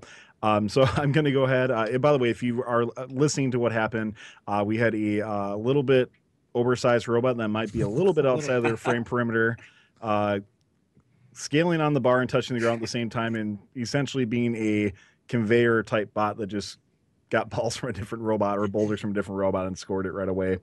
Um, so I'm going to go with a robot since I can't pick 469 and I've already used 71 previously. Uh, I'm going to go with uh, 1987 Bronco Bot, circa 2015. Uh, they had an awesome conveyor robot, and uh, I was really sad not to see it on on uh, championships because they weren't able to uh, put bins on top. I thought they were the ultimate 27 alliance partner uh, last year. But really cool robot that they had, and I could uh, I could see them doing that this year. You know, make some changes. Yeah, so that little flip out arm thing uh, that they have, the little flipper, uh, just made me think of 971's robot this year with their shooter that kind of is the ultimate transformer. So that's what I'm going to go with. I'll go with that. I don't know because their for me their robot wasn't that shape, but the way that they were positioned on the on the the tower and the thing kind of reminded me of the wedge robots of '67 back in the day. So that's kind of what I'm gonna go with. Um, and on top of that, like their big utility arm too, that's uh, in action. So I'm gonna go with uh, 67, the hot team. I think Shawn, I'm gonna. Yeah, go I for think I'm gonna go with Team 2016. Not just because it's the year 2016, great coincidence, but uh, the Mighty Monkey Wrenches Yeah. out of New Jersey, I think. But um, about in New a Jersey. while. but yeah. but specifically, well, for a while because I mean their last greatest robot was 2011, Mhm. which was identical to that robot. Literally, I'm convinced they could pull that robot out of storage right now, run that strategy. Uh, they made it to Einstein in 2011. You know, Yeah. all bets are off for this year. I, I would not be surprised. I mean, we just beat 1114 in 2056, so I think we've proven that just about anything can happen. Now he drops it. That's that's awesome, Shawn. Thank you. Very Thank you so much for your inputs on that, and thanks for being on the show, man. We do have a couple uh, uh, Q and A people that our, our chat posted as we are going through. So thank you, chat, for doing that. Do you mind uh, just fielding a couple questions we have before we move on? Absolutely. Fire away. All right. So we only got a couple here, guys. We're running short on time. We definitely want to get you to the top 25. Uh, so from Caltran, our great contributor that we have, uh, he asks, uh, he said Shawn slash Karthik, in case Karthik is still hiding, like, you know, behind the couch or something like that. uh, which which type of defense do you see in the future? Uh, and he asks uh, the type of, that you implemented at Waterloo uh, or a continuation of courtyard defense. So do you, do you see more of defense in the courtyard or are you seeing do you foresee more uh, defense in the neutral zone or a combo, or where do you see defense moving in the future? Yeah, okay. The cop out answer is it all depends on who you're able to get your second pick, which is the obvious answer. But, you know, I'll tell you personally, um, you know, watching 1241, uh, a courtyard defender against them, if you're if you're up against 1241, I'm I'm almost saying we might be at the stage where we're playing this game at a level where it probably doesn't work nearly as well as you, you want it to.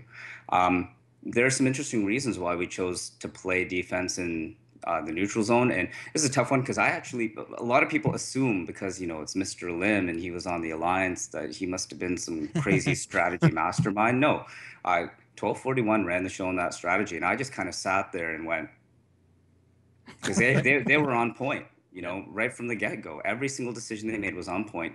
Um, attacking them in the neutral zone uh, exploited what we felt was probably their biggest weakness, which was their intake.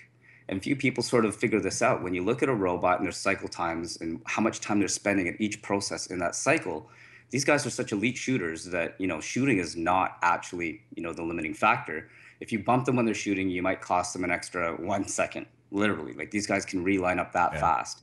On the intake side, though, like 1114 and 2056, at various times during the tournament, they they were struggling. Like a ball would spill out, or it would intake kind of wrong and kind of not settle into their shooter.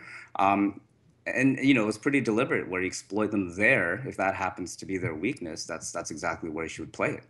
Um, you know, if you're at if you're against an invincible robot who who has no weaknesses, then you know a common term you've seen maybe on Chief Delphi is ball starvation. Um, you've seen various attempts at it, but I'll be honest with you, ball starvation is a super penalty prone Yeah. strategy. All right.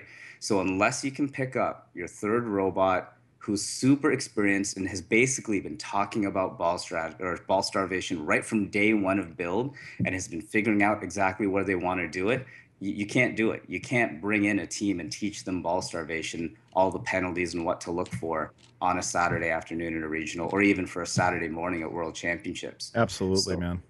But if you can execute that ball starvation, I, I'm sitting here and I'm still saying that we haven't seen ball starvation quite the way that you know even I envisioned it. I, I I actually see some ball starvation played with three offensive robots in that zone, uh, and one of them is playing defense in that offensive zone by you know really really really locking down the balls in some really Yep. creative ways.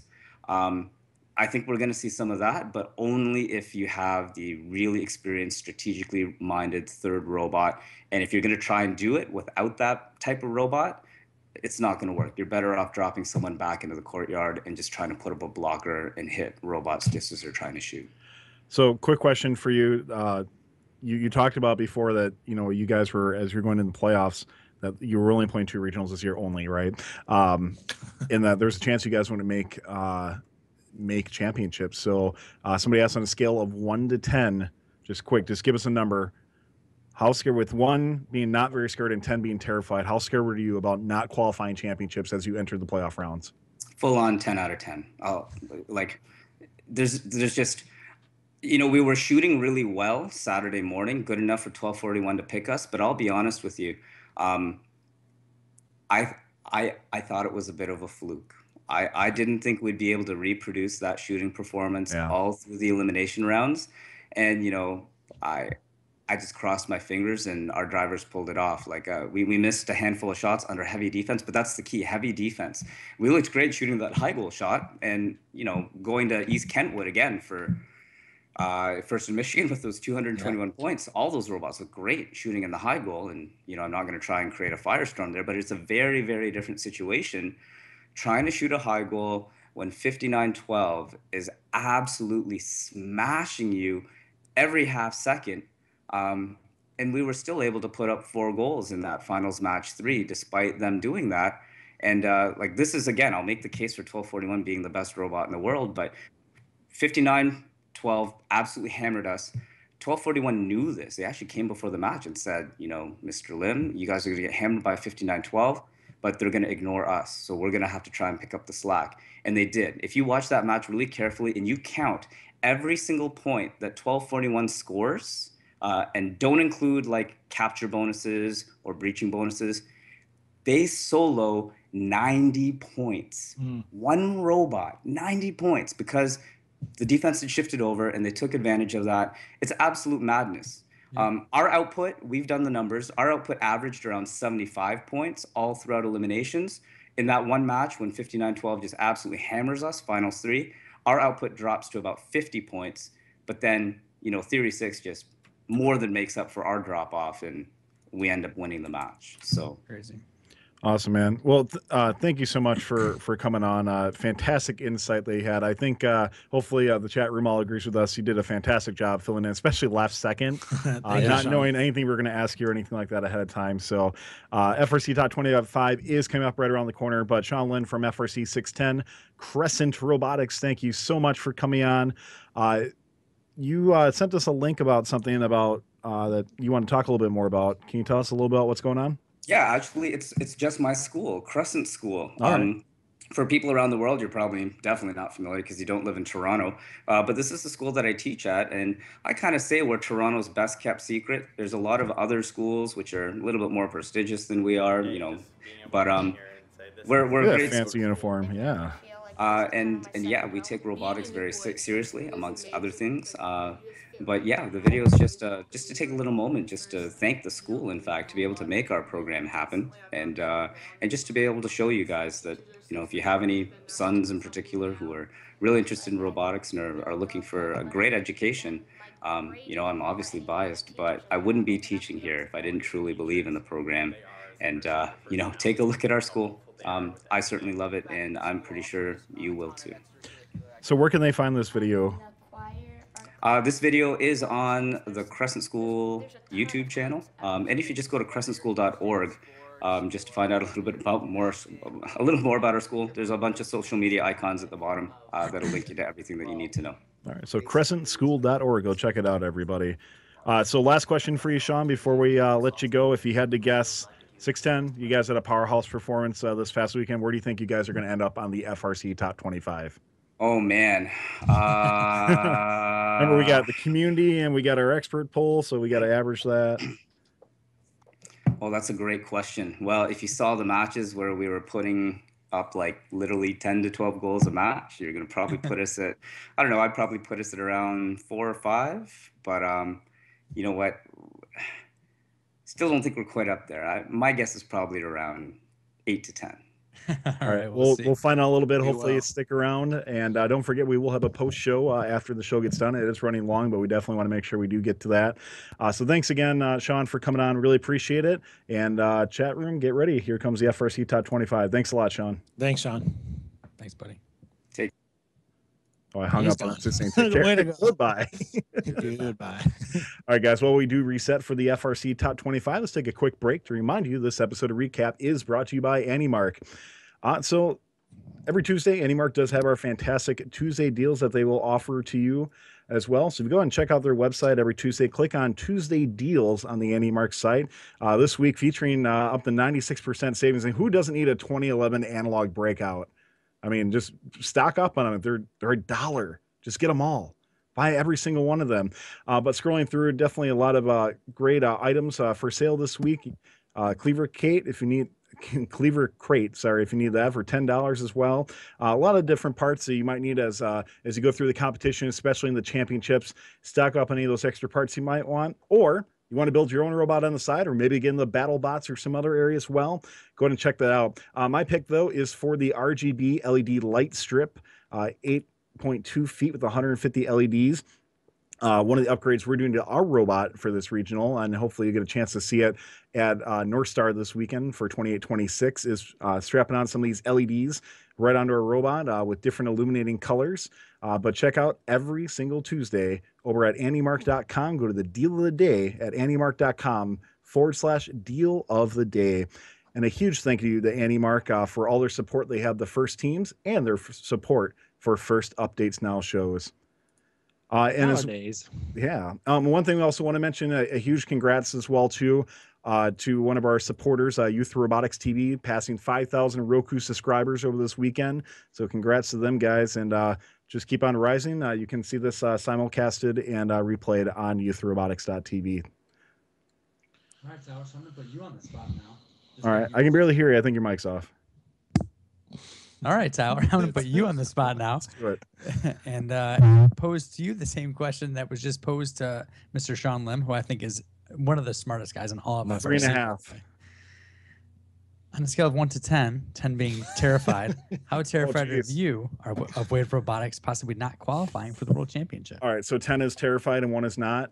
Yes. Okay. Um, man, okay, so I, I got to preface this a little bit and saying um, that I have a lot of confidence in our team and the upgrades we made. Uh, we've uh, put some polycarb on our shooter. We are shooting from the outer works uh, consistently, at least at our practice bot. So we'll see how that works out. But I think one of the key advantages that we're going to have is uh, be able to get a lot of practice time in. Uh, and that was one thing that we didn't have. We have a new drive team who's starting to mesh fantastically together, and we're very proud of them. Uh, but we were definitely had to get them a bit more practice than what we allowed them to. That's a fault on our end. Uh, and I think this regional, they're going to have a great opportunity to do that. So, uh, two answers to that. One, that Wave Robotics isn't going to qualify. I'm going to put that down as a three. We have a huge shot at chairman's. Uh, we won chairman's there last year. Our chairman's team is fantastic. We're really focusing on EI as well too. And our robot, I think, is going to be able to take, uh, really do what I think, what hopefully what 610 did, where they had a lackluster first regional, and we're really going to take it by storm. Um, but personally, for not making championships, I don't, I don't want to not make it. I love championships, and especially it's the last one before two champs, right? As far as we know. Oh, uh, sorry, April Fools, everybody You who went fell there. for that. Uh, yeah, and uh, you know, I'm going to go regardless. But to me, uh, not as it just like I want my team to go because we're Wave and we need to go to championships, but it's a great opportunity for kids, right? Oh, And the more opportunities that we can provide to our students, to our mentors, to our supporters, the more they're going to get out of it. So the further we can advance along, uh, you know, yes, we want to go really far at champs, but just getting the champs in the first place, to me, that's uh, that's the golden ticket right there because we're giving our students and everybody else on our team another opportunity to experience a fantastic event. So 10 out of 10 because I really, really want to go. But my confidence in our in our robot and our team, I'll put that as a two or three out of 10. How's that? Beautifully. Very well crafted. One thing I want to say because it kind of goes on this: peop teams are practicing with their practice bots. 2046, right? The robot, they their robot got stolen, right? Mhm. 2046. Oh yeah. I don't know what first was going to do with them. I didn't follow it that closely, but if they had gone the route of if they, thankfully, it was returned. If it didn't, and they had a practice bot, would you think first would have let them use their practice bot? That's the first question. Second question: How many teams would rather use their practice bot at this point in the season because it's working so much better, right? That happened with 3015. You're saying That's a great point. you're saying like you're saying 3015's ro- practice robot would Yeah. shoot high and autonomous every time, but the real robot just would not for whatever reason. He's saying here's Tyler going. Their their practice bot is doing really amazing in their shop right now. How many teams would rather have their practice bot on the field right now than their real robot? So the first question, I do think first would have allowed them to uh, use their practice bot because I do think there actually is some uh, precedent for that because I Yeah, think that's, I agree. that, that's happened before actually. Um, and the second point, I think 3015's robot got stolen. yeah, right. that being said, Because if we could sw- if we could do a sort of swap out, that would be. Uh, So I, I'm going to preface and say I actually want my comp bot on the, on the field. Yeah, instead. that's I'd rather- I would rather do the upgrades, But- and here's why: because as we try to get it as identical as possible, and we usually build our practice bot first, there are Yeah. still some things like our drive rails, for example, are, are just not what we what we Sure. want them to be at the robustness, and there's less binding in our competition robot for the drive. So we definitely, I would always prefer our comp bot, even though we might have done upgrades on our practice bot. Um, you know, we have a good plan moving forward to do quick retrofits, hopefully. Um, and I'd rather have my comp bot every time. Sure. And, and also, I mean, very happy by the way, see that robot did get returned. Um, supposedly with a little bit of rust because a little bit of moisture, but very happy it did get returned. yeah, and, and I think it varies. Some people, are, like you said, some people don't use competition legal stuff, or it's heavier. They didn't drill out holes, stuff like that. Yeah. But yeah. I think some there's some cases where where is- it's like I would say ours is beats a grip. Right. Like, Yeah. It's been through Yeah. hundreds yeah, of because they've been through. Yeah, that's it. A practice. So, all right. So that was a, a mini sidetrack. So we're gonna get right started, guys. Thanks so much for um um sticking with us. I think we've had some great conversations, not only about Waterloo, but about it's kind of the basis of our conversation, but kind of what's going on, how this game is evolving, how defense um is changing and defense selecting is going on. So thanks for doing that. Um, we did talk a lot about Waterloo. We understand that, um, but it was a, it was a huge event this weekend, and there was a lot going on. So, but there was a ton of other teams that also competed, and we won't be talking about them. So, um, I think we'll just dive right in. Unless there's anything else you want to say. No, just thanks everyone. I mean, 240 viewers right now, so we certainly thank everyone for tuning in and helping us spread the word and make this show loud, which makes first loud and all sorts of good stuff. And we and we had, uh, I believe, uh, close to 200 uh, community submissions again. So thank you, thank you, community, for doing that. Make sure you do it right, um, and we'll get past. Uh, by the way, I love how people are putting hashtag Waterloo updates now. But Yes, All right. that's great. So, without further ado, the FRC Top 25 for Week Five, beginning with team number 180. From Stuart, Florida, Martin County and Jensen Beach High Schools at Spam, a season record of 27 and 4. Winners in Orlando, winners in South Florida. So not your mama's luncheon meat. uh, competed with the robot Brave Sir Lobbin. The name we're guessing comes from fact they're part of Team Catapult. Anyways, uh, you get it? Yeah, Lobbin. Got it. Oh. As Mike said, uh, going uh, season 27 and 4 gets them in the 25 spot here this week, thanks to their performance this past weekend at the South Florida Regional. With already two blue banners under their belt from Orlando, they were looking for another. Finishing fifth with 24 RPs after nine matches, they were selected to the number three alliance by 1065.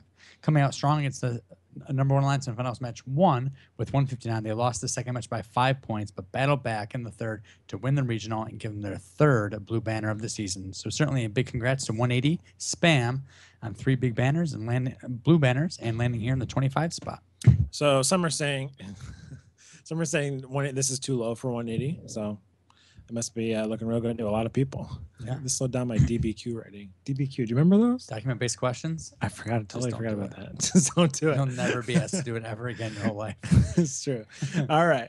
So that was uh, 180 uh, for our 25th spot, and our 24th spot was 3824. From Knoxville, Tennessee, Hardin Valley Academy, it's HVA RoHAWKtics, 22 and 6 overall, with the winners of the Smoky Mountains Regional. So looking to improve from their semifinalist appearance way back in week one, the RoHAWKtics look to improve upon that this past weekend at the Smoky Mountain Regional.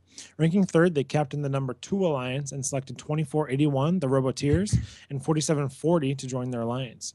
Beating, beating the number seven and number three seeds, they played the number one seed in the finals. I had talked about this earlier. 24. Uh, these were exciting matches to watch as we saw 1986 and 26 14 versus 24 81 and 38 24. Four big names there um, in the finals. Um, it would be the number two alliance led by 38 24 that would take the regional in two matches, beating the number one alliance by an average of 50 points in each of those two finals matches. Congrats to 38 24, HVA RoHAWKtics. Uh, welcome back to the top 25 here in the 24 spot. Seen kind of a lot of them recently. So Yeah, très magnifique. All right. From 24 to 23, we have team number 4678. from Breslau, Ontario, Canada, Woodland Christian High School. It's the CyberCavs, a 10 and 6 season record. They were quarterfinalists at Waterloo. And I think if Nick is on the call, I think we have some footage from this team if he's got that while we talk about them. So some video of the CyberCav. Oop, yep, some video of the CyberCavs here. Uh, but 4678 was a dominant force of the Waterloo Regional this past weekend. A definite favorite of Mike and I, certainly. This team were able to clear the drawbridge in autonomous, and you can see the video uh, up here right now. Um, and they made it into the high goal after that. Oh, Uh, wow. Really an impressive, uh, an impressive feat. Uh, and they made it look easy. They finished sixth and joined with 1285, the Big Bang, on the number five alliance. They couldn't break out of the quarterfinals, taking it to three matches, but they did score as high as 165 in quarterfinal match one. Great looking robot. So congrats to the kids from Woodland Christian High School. Amazing job. You guys absolutely are dominating this game at Stronghold. Um, we wish we could see you play again. Yeah, so this was their first event. I mean, and we always say competing up in Canada is a hard thing to do, but this team Yeah, only playing one came out strong. Like they were looking great the whole time that I, you know, I was up there just for Saturday, and just like, and you just kind of saw that video right there. They clear. I don't know if they do the Sally port in autonomous, but they definitely do the drawbridge. They can do the Sally port really easily um, in teleop, and they just rock it. They did Yeah. uh, awesome. So they I'm did really- have some issues in teleop in the quarters, though. I think that was kind of their part of their undoing is that they had problems getting that drawbridge and Sallyport with that arm. Uh, Yeah. Cool looking arm though, but Yeah. It yeah. is. It's just so smooth. Yeah. Yeah. Well, like you were saying, right? This is that was their first event. One and done. That's it. No, you they they have another. Oh, sorry. They're signed up for Windsor Essex. Oh, I didn't know that. So nice. uh, everyone kind of always had- maybe has a little bit of a rough go of it um, their first event. So I think Sure. this this weekend at Windsor Essex, um, with some wild cards up for grabs, I certainly think their chance of qualifying are Yeah. are very high. Yeah. I, I it was great. I loved watching them. It was a, a really really cool machine. They were the, probably the biggest surprise at the event. For me. Sure. like you show up, Yeah. you're expecting makeshift and everyone to do so well. Um, Yeah. but they were a team like, holy cow! Like they is were, I was, great." at, and they did. I was expecting them to go pretty high Yeah. just because they looked that great. Yeah. Not only could they do all the defenses, but their high goal shot was really good and really fast and effective. So, Yes, it was. so congrats to them. Great job. All right, are in our 22nd spot. We have Team 868. From Carmel, Indiana, Carmel High School. It's the Tech Hounds, 35 and 15 overall. The winners of the Queen City Regional. So, first off, the robot picture on the Blue Alliance is awesome. I love the no bumper look. So, take a look real quick on 868 on the Blue Alliance. Okay. Um, there he goes. Anyways, um, this Indiana Ooh, district broke out of the dis- um, it, they broke out of the Indiana district this past weekend um, with the DCA at their first event and then went at their second and competed this past weekend at the Queen City Regional, breaking out of the Indiana district. Sorry, Nick, you're amazing. Finishing second, they were selected um, second overall by or first overall maybe by 245 the Adambots a team from Michigan. So you have um, two district teams competing outside of districts, finishing one and two there. Um, they added a team not from district, 4256, the Cyborg Cats. This alliance would cruise through the quarters and semis on their way to face the number four seed in the finals. Winning the first and losing the second by only putting up an un- uncharacteristic 117 points in finals match two. Uh, they battled back and won finals match three, 177 to 130. Congrats on the regional win to add to those two. Uh, for those two district teams, excuse me, and good luck um, to 868 back in the in the Indiana State Championship. So what a bit of a quite the dichotomy there between the community and the expert poll there. Number 10 in the community and 38 in the experts. Yeah. Interesting.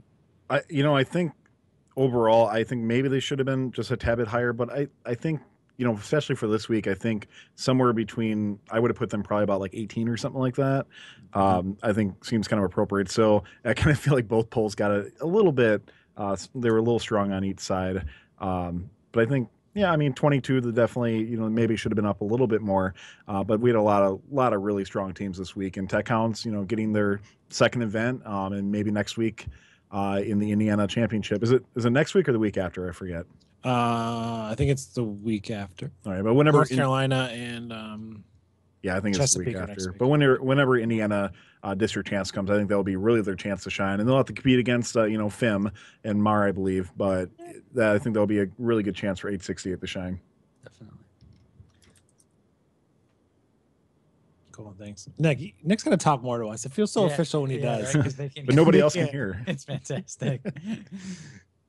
All right. Very cool. So that was 22. Moving on to 21 Team number 1736. from oh boy, Peoria, Illinois. Peoria area high School is It's Robot Casserole. Peoria. Peoria. You're from that area. Yeah. 24 9 and 1 overall, finalists at Central Illinois and winners at Midwest. So a team we definitely remember talking about before. We want to welcome 1736 Robot Casserole to the top 25, taking silver uh, a couple weeks ago at the Central Illinois Regional. 1736 was looking for a gold at Midwest this past weekend, gliding under the low bar with ease, high goal shooting in auto and teleop. 1736 plays stronghold extremely well. They finished first, going 8 1 and 1 with 35 RPS. That's 3.5 per match. Very impressive uh, and selected 2451 PWNAGE and 35 3352 Flaming Monkeys 4H Robotics Club, playing seven matches total, scoring as high as 176 in finals match two. Robot Casserole led this alliance to victory in Midwest. Congratulations, and we will see you at St. Louis.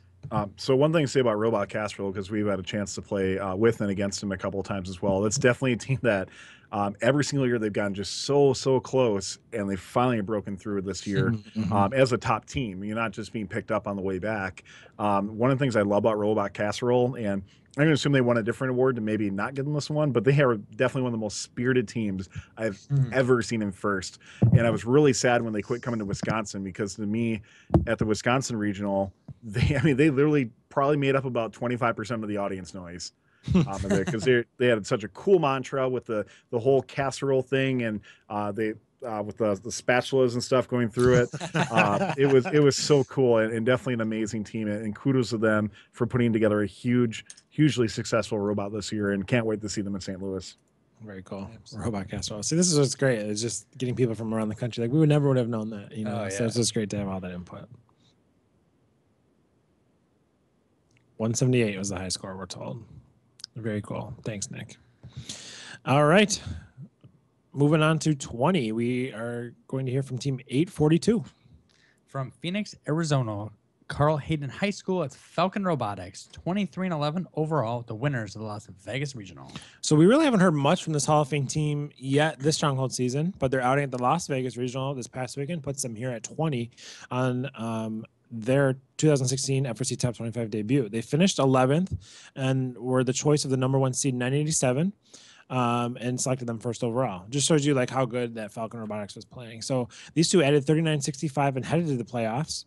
Um, and started off with a bang by putting up 207 points in quarterfinal match number one. The pedal never left the metal as this alliance would go on to win the regional. Congrats to Falcon Robotics for making it out of the top 25 this season and good luck at championship. Um, so I kind of was just kind of saying that about, you know, just going down to 11 or going down to 16 or just kind of making, making that pick and doing good scouting. Like it's for a quote unquote powerhouse team of 987, which they are like a lot of honor is I think given when they select you and they go down and select you over you know the top 10 teams in this case like Yeah. because their reputations on the line and they're showing that they're putting that much trust in you um to select it so that's why I'm saying it just goes to show you how well 842 was playing even though they were like 11th and weren't you know in that top five or whatever so congrats to Falcon Robotics and uh, good luck going forward And you're, you're absolutely right about that because I don't know if you remember 2014 when we got picked by 868 and 16 uh, at, at championship. It was like, I don't care what happens, just don't let us be the reason we cost them a shot. You know, Yeah. it was just like you feel that pressure because you're right. It's their reputation that's on the line. They're Yeah. a powerhouse team. They're expected to win. It definitely, uh, th- that's definitely a very uh, Mm-hmm. keen observation there. All right All right, into the top 20 here at 19 with the team we've long awaited to have, uh, you know, kind of return to their former glory. Team number 111. From Arlington Heights, Illinois, Rolling Meadows, Wheeling, Prospect, and John Hersey High School is its Wildstang. 21 and 11 overall. Semifinalist at Central Illinois and finalist at Midwest. So I believe we touched on it last week in an earlier season about the Wildstang and the fact that we haven't heard much on the past couple of seasons. After the finals appearance at Central Illinois, Wildstang looked for gold at the regional uh, that they have dominated in years past. To put it in perspective, uh, for our listeners, Midwest always used to be kind of what Waterloo was this year. Uh, but anyways, finishing second thanks to quick, efficient cycles with help from their human player, which I think is a very uh, underutilized strategy at Sure. this point. Um, for a lot of teams, as well as being able to take multiple defenses with ease. They captained the number two alliance and selected 23 38 and 42 41. Making it to the finals, their scores of 121 and 140, however, were just not enough to take down that number one alliance. Um, so, congrats to them. And Tyler, thoughts on 111 moving forward? Yeah, so um, with 111, I definitely agree. It's a team that the last couple of years they kind of tapered off, um, and I think there's a couple of factors to that. Uh, one, they lost their drive coach. Um, if everybody remembers Raul back in the day, Oh, yeah. oh my goodness, I think we've talked about him before. Um, and a fantastic guy. Um, Wildstang also had the bounce around facilities year after year too. When um, Motorola ended up doing that split in their division, that was a big undertaking for them was to try to find a place they've been in. I think they finally found a place that they can stay at for a little while, and that's really rough on a team to bounce back and forth with that. Um, so I mean, but the people that comprise that team um, that are there, and the ones that I personally know with uh, with Al and Dottie and, and Dan, who have all been personal mentors in my life, uh, it is fantastic to see 111 rising back up again. And it was one of the things I talked about when we previewed Central Illinois was I really see 111 coming back up, and they struggled a little bit the, the first one, and they really hit their stride uh, at Midwest Regional. And you know, being a Hall of Fame team, they get to go to champs, and I see them only improving more and more. Mhm. Yeah, like I kind of put that in there. Like, uh, mid the Midwest Regional was the regional to watch of the year, like a few years Yeah. ago. To all our like maybe our younger listeners, like what the the fact that we talk so much about Waterloo is kind of like what we used to talk about with Midwest and the teams that used to go, the caliber of teams. It was like that was the destination regional to go to. So, and Wildstang used to just dominate that region. Oh my goodness! So- and it was Wildstang and Beatty for a long Yeah, time. for Those were the two because I, Long I, I was a I was a student from 2001 to 2004, and I mean back it literally was it was Wildstang, Beatty, and TechnoKats, and Yeah. those were the teams that just it was every single year. And I think Wildstang held out the longest because they still Wildstang still had top tier teams uh, even into 2011, 2012, 2013 as well too. Just the last couple of years I think have been a little bit of a hiccup for them. Mhm. Um, but you know they've they've had a strong team for a long time, and I totally Yeah. agree. The Midwest Regional, I mean, they they still get they still draw a lot of good teams, but with so much dilution going on now, it's it's hard to get all those powerhouse teams back at the Midwest Regional. Right. Um, but yeah, I mean, back back you know Which is- five ten years ago was nuts. Yeah, which is why we kind of make a big deal about it, like th- th- they're coming back around and stuff like that. Is Yeah. because they used to just be that dominating force down there. So the other quick thing I want to say is that kind of you're saying underutilized strategy of, or maybe it was Tyler of the the human player. Like I, I think. Justin, Yeah. So I've you, we've seen it played a lot of different ways, but I think one of the most successful ways I've seen is timing up rolling in the ball with once they that team gets up and over that uh that outer edge of the um of the secret passage because once teams roll them down there and it kind of bounces up and bounces around hits the thing i think i've seen it best when the ball and the robot meet right after that point right into the harvester so Yeah. Oh, can I make one more comment just Yeah, about Midwest. Regional? By the way, really sad um, not to see Winnovation qualify. yeah, Yeah. Um, one of those teams yeah, we, really. we got to get that They got to get we got to get that public vote happening five spots or something Yes. So so listen to this real quick, just to just to put a cap on this. So this is just a brief listing of some of the teams at the Midwest Regional in 2009. 16, 71, 111, 217, 1024, 1114, 1625. I mean, it's just like Yeah. what a gauntlet. that was it Not yeah. to go through another one. Uh, check out Midwest 2011 too from a few years ago. It's not a really high one, I'm sure. I'm sure that. but we don't have to read them all off. So. I'm sure chat world loves this right now. Like, It's- they're like, I was in fifth grade. Oh, let's just move on, huh? one by the one by the Midwest. now, I'm, now I'm curious Tyler. Wild, We St- gotta- Wild Oh. Stang, What Robonauts, Winnovation, Bomb Squad, Beatty, TechnoKats. 1987 's in there wow Crazy. Very cool. All right, a little side tangent. We're moving along though. In our 18th spot, we have team 195. From Southington, Connecticut, Southington High School, it's the Cyber Knights, 32 and 4 overall, winners at the Hartford District event. All right. Uh, with one blue banner already on the season for them, thanks to their win at the UMass Dartmouth event a few weeks ago, the students from the Cyber Knights look to make it two for two with their appearance at the Hartford event this past weekend. Getting to that, um, getting to that second banner, they were off to a great spot by landing the number one seed by going 11 and one with the 42 ranking points, which half of their matches means they scored four ranking points. They would select 558, the Elm City Robo Squad, who we've talked about on the show already this year, and 3461. They would not lose another match, scoring a perfect six for six in the playoffs, scoring as high as 195 in finals match two, as I already had talked about. Congrats to one of our favorite teams and good luck at the New England First Championship event. I know that's that's a great program. We know. Um. Oh my gosh, I, I forgot. Sandra and Gino. Yeah. yeah. I mean, just it's one of those like you know family centered uh groups and just everybody that just pours like so much effort and resources into Great it. So, people. yeah, Love 'em. Not a bad thing to say about them. no, I will. I will do a quick little uh, PSA for there. They are looking for a Kangaroo Plus mini computer to assist their onboard vision. They have a, that's how they help process the roboRIO helps process their vision um, on the robot. So looking for a backup because they only have one that's discontinued on Newegg. So if you uh-huh. have a Kangaroo Plus mini PC, how about 195. They're looking for one. There you go. All right. So we go from 18 to 17, and we have 3310. From Heath, Texas, Rockwall Independent School District and Rockwall Heath High School, it's Blackhawk Robotics, a 31 and 3 on the year. Winners at Arkansas Rock City, winners at Hub City. 3310 has been the team making a name for themselves these past couple of years. Sometimes it only takes one mentor. Back in the top 25 this week at the performance at Hub City, we saw them earlier this year after winning Arkansas Rock City Regional. Seating first at Hub City, they went a perfect 11 0, picking up 37 RPs with an impressive 302 auto score. Selecting fellow Texan 4063, Tricks are for Kids, fresh off the win at the Bayou, they added 4301 and headed to the playoffs. Putting up modest scores between 101 and 177, maybe not so modest there at the end. 177 is a Oh, pretty true. good score. Uh, this line's battled to three matches in both the semifinals and finals, but were able to come out victorious. Congrats to these kids on a two regional win season, and good luck in St. Louis. Again, only three losses on the year. Four? Four? Did I do it wrong? Did you write that in there? No, I think Nick did. I don't know. I don't know. Somewhere around that. That's the team Pretty- Copioli's coaching now, right? Exactly. But Yeah. it's We got that wrong before. Yeah. What do you mean got that wrong before? Oh, I got it wrong. I said he, I I was Oh. under the impression he was still on uh, 148 for some reason. Oh, no. Because I tried to get him on the I tried to get him on as a guest, Yeah. and and I'm like, oh yeah, you can come on the week uh, last week because 148 competes. He's like, eh, I'm not on that team. Sorry. Way to go, Yeah. Tyler. Yeah, whoops. Amateur hour. And he's like, yep, and we're never talking to you again. Done. Uh, All right, moving along. In our 16th spot, we have team 3309.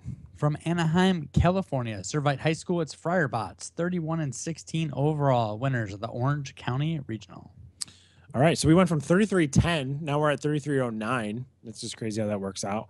Um, but we move on to the Friarbots, making their top 25 debut ever here at 16, I believe. Being uh, quarterfinalists at their first event, semifinalists at their second event, the Friarbots look for gold, competing at their third and final regional this past weekend at the Orange County event. They're ranked second, but were picked first overall by 3476 Code Orange. The Friarbots and Code Orange were clear favorites as you looked at their auto and goal scores. Um, they were just leaps and bounds above the rest of the competition. So they headed to the playoffs with, with rookies 62 20, um, and they would win the regional, taking it in the decisive um, third match.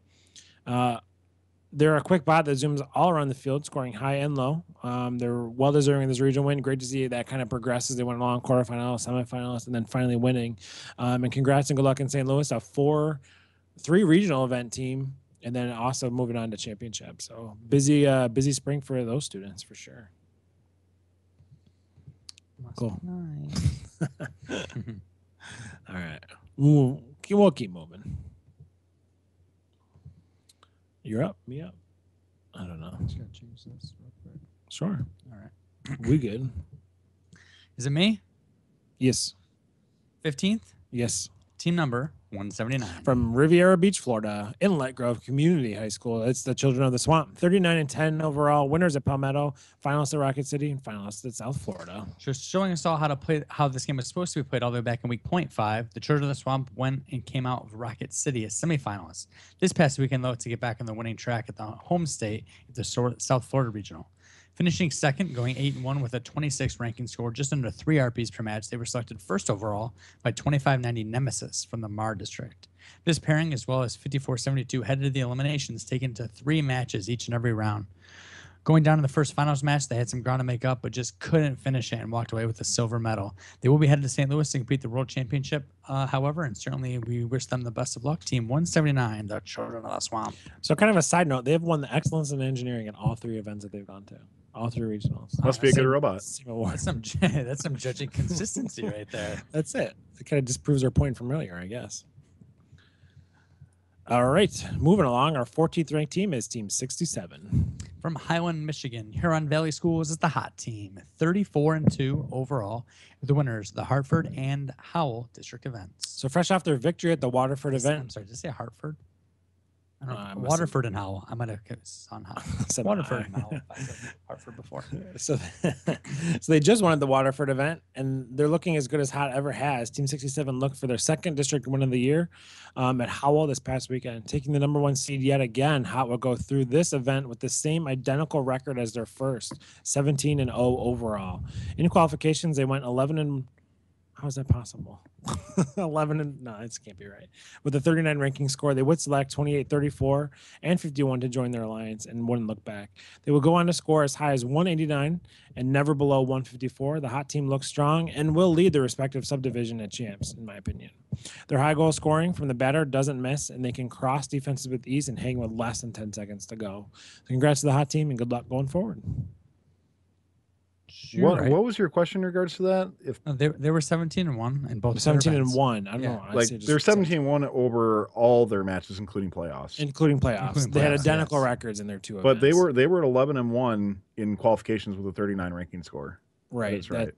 That's it. I said they were 17 and 0. They were Ah, 17 and 1 overall in both of their events, and then they went 11 and 1. Gotcha.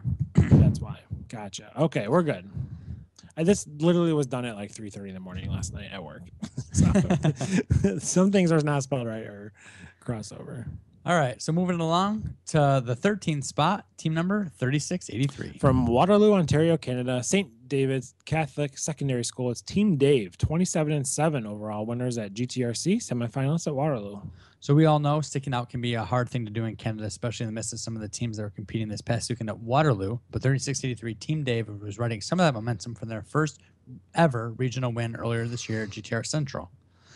Uh, Team Dave finished third overall, scoring just over three RPs per match. They would captain number two alliance and invite 148 and 5032 to join their alliance. Advancing through quarters was pretty easy, very grossly outscoring their opponents, but had some trouble in the semifinals, taking it to a third match, and were just unable to seal the deal. But congrats again on your win at GTR Central. Uh, they have a very fast scour. They had a kind of a 2014 reminiscent strategy of feeding 148 Yeah. uh, in the elimination rounds with some nice passing. Um, but It was cool. And we'll talk about that a little bit more too. But I also enjoy seeing a, lo- a low goal. I mean, this is a low goal only robot. That's ti- that's you know 13th overall here. So it's kinda, they might be the only lo- low only yeah, bot be. on the list. I mean, they won their first regional again this year, ever. So we had talked about that in, in weeks past. So congratulations to them. From Team Dave at uh, 13, we're going to move on to 12. And uh, that would be Team 3476. From Irvine, California, it's Code Orange, 20 and 10 overall. The winners of the Orange County Regional. So after a disappointing quarterfinal loss in Los Angeles earlier this year, Code Orange got things pointed back in the right direction this weekend in Orange County. They crushed the field in goal scoring on their way to the number one seed and eventually a regional win. They also picked up the Woodie Flowers Finals Award from one of their mentors, an entrepreneurship award, and the Excellence in Engineering Award. impressive result for an impressive team. Good luck at the World Championship, Code Orange. Um, looking to make it back to Einstein again.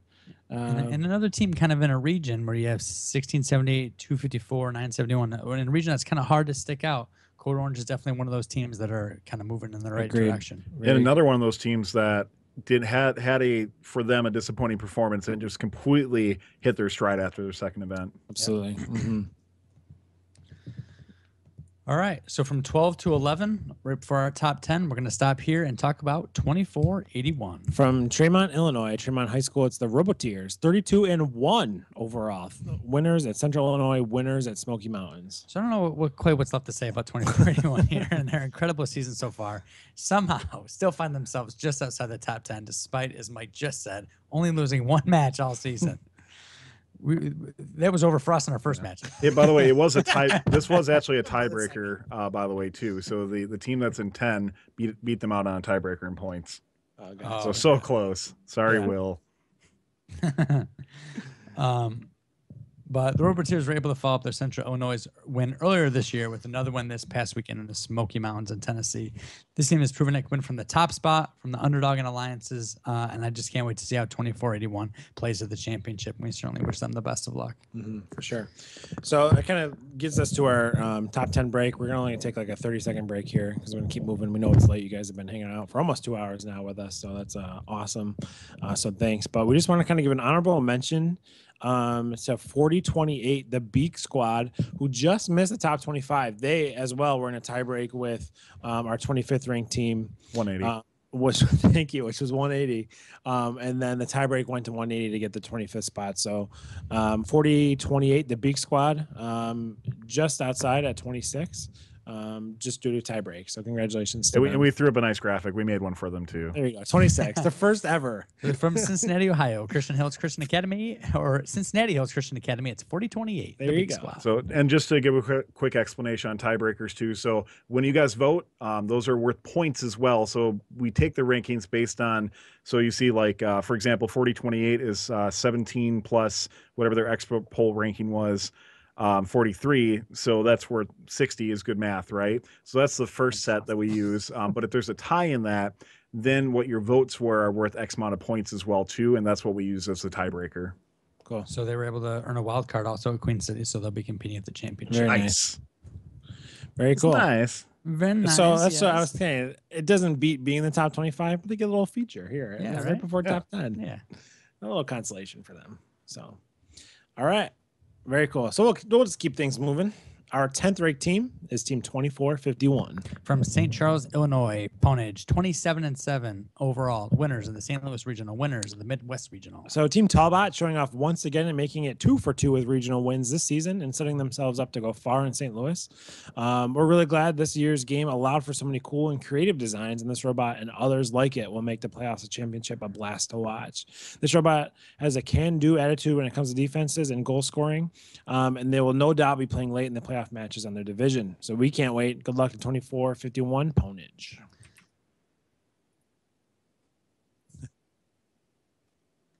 They didn't what? Say that again. Nick's talking to us, which is Yeah, Nick said it's the first regional they didn't win on their side. oh. Oh. So they, yeah, they, they've had some interesting experiences in the Oh, past, and this one they definitely Yeah. uh, stayed upright the whole time. Interesting. Need our soundboard. Very good. Cool. All right. All right, moving into single digits. We have team number 359. From Waialua, Hawaii, Waialua High School, it's the Hawaiian kids. 44 and 6 overall winners at Lake Superior, winners at Tech Valley. That's it. So- That's it. so Glenn Lee perhaps said it best when he posted on Facebook, quote, the Hawaiian Regional is our kryptonite. He might have been exaggerating a little bit, of course, considering they've won the event the past couple years, but their loss doesn't take away from another incredible season they've had so far. With two regional wins in diverse areas under their belt, uh, they're one of the teams best suited to return to Einstein with a real shot at the World Championship. So they came up a little bit short this weekend in Hawaii, but we certainly can't wait to watch how it all unfolds for them at the championship. And we wish this Hall of Fame team the best of luck as they search for the return to Einstein. So just a, a thing about them, um, when Glenn was in the semis, um, they knew they had some issues with their with their drive going on, and he just he uh, ended up texting out like, "Why? Why is it always the Hawaii regional? We have issues with this every time." And he's and so it's funny because they won their second match, and I I was kind of leaving it, and they saw they won their second match. I'm like, ah, they're up and running, they'll be fine. And I expected them to to pull up uh, uh, the event later on and see if they see if they won. And I was shocked to see them go out in the third match of the semis. Uh, but and they're with uh, 368 Kikamana, which has been a perennial powerhouse in Hawaii as well Sure. too. Yeah, Yep. those two together for sure. They got two regional wins though. I know that's what it stinks, right? It's the same Good thing enough. with like 340 over here. Like, uh, like I guess it's a hometown regional for so many teams in our area, but never have pulled it off. You know, Yeah. like not was it six out of nine years or Yeah. something finalists. So same kind of thing. Anyways, uh, moving on. Our eighth ranked team is 1986. From Lee's Summit, Missouri, Lee's Summit West High School, it's Team Titanium. 29 wins, only three losses so far this season. And the winners, the Kansas City Regional. So anytime you go through a regional season and only lose three matches, you know you've got a great robot. And Team Titanium once again proving that they're a powerhouse that's consistently turning out great robots year after year. This past weekend, the Smoky Mountains, 1986, Um, and though they ranked second, they were quickly picked up by the number one ranked team. Though they fell a little short in the elimination rounds, you know Titanium has a great machine that looks confident in all aspects of this game. They also picked up an engineering inspiration award for a little Cling Bling to end their regional season, and we can't wait to see um, how they iterate for championship. And good luck to 1986 team I- tape measure. I still can't. Yeah, I still can't believe they have a tape measure. Yeah, Right. right. I wonder how many auto modes are up to as well. Two tape measures. Yeah, two tape measures. Cool. Good deal. the next one reminds me. Remember the parody video that the, the kids made? That's crazy, kids. We've had two parody videos actually made of us, and they're both pretty freaking good. Hysterical. All right. Can't stand them. Move forward. So without further ado, here number seven, team number 33. From Auburn Hills, Michigan, Notre Dame Preparatory School. It's the Killer Bees. 31 and 5 overall. Winners at Hartford, or winners at Troy. So it seems like this week has been overshadowed by regional teams. So I'm glad to see 33 here in the top 10 as they have an incredible, uh, have been incredible so far in the notoriously competitive Michigan district. This past weekend at Troy, they showed just what an advantage a quick and confident scaling mecha- mechanism can be. They led the event in that category, and since it takes them less than five seconds to hang, there's a tremendous value for them at the end of the match. The district champs is coming up and will be the final proving ground as 33 looks to make it back to the biggest stage in St. Louis. Very, very cool. Bum, bum. Mhm. All right, before we get to the top five, we need to find out who's at number six, and that would be 987. From Las Vegas, Nevada, Cimarron Memorial High School, it's the High Rollers. 28 and 4 overall, winners of Los Angeles and Las Vegas regionals. So one of our favorite teams, simply put, just knows how to win. Since I looked this up, since 2006, the High Rollers have only not played in the finals twice. They've walked away with a silver medal all but two times in the past 10 years. That being said, they have one gold medal already this season after winning the Los Angeles Regional. They returned to their hometown regional this past weekend in Las Vegas. Four out of 11 of their matches, they took four ranking points, and they took the number one seed going 10 and 1 with um, 37 ranking points. They would go down uh, to the 11th seed and select 842 um, as we had mentioned, and they also grabbed 39.65 and headed to the finals, beating eight and four. They would face number seven in the finals, and with um, somewhat modest scores for finals um, in Stronghold, they won the regional in two matches with scores of 141 and 154. We love this team. Um, we don't think they're talked about to the likes of like 254, 11, 14, that kind of stuff, but they're definitely, I think, one of those more underrated of the um, of the powerhouses that are out there. Like kind of what I just said. They have walked away with silver medals at least. A lot of those are winning. A lot of those have they've won since 2006, only twice. That's crazy. And I think you're, I think a part of it's because the region that they're in, right? They're not in Canada, they're Yeah. not They were world finalists last year. Yeah, That too. Yeah, right. it's crazy.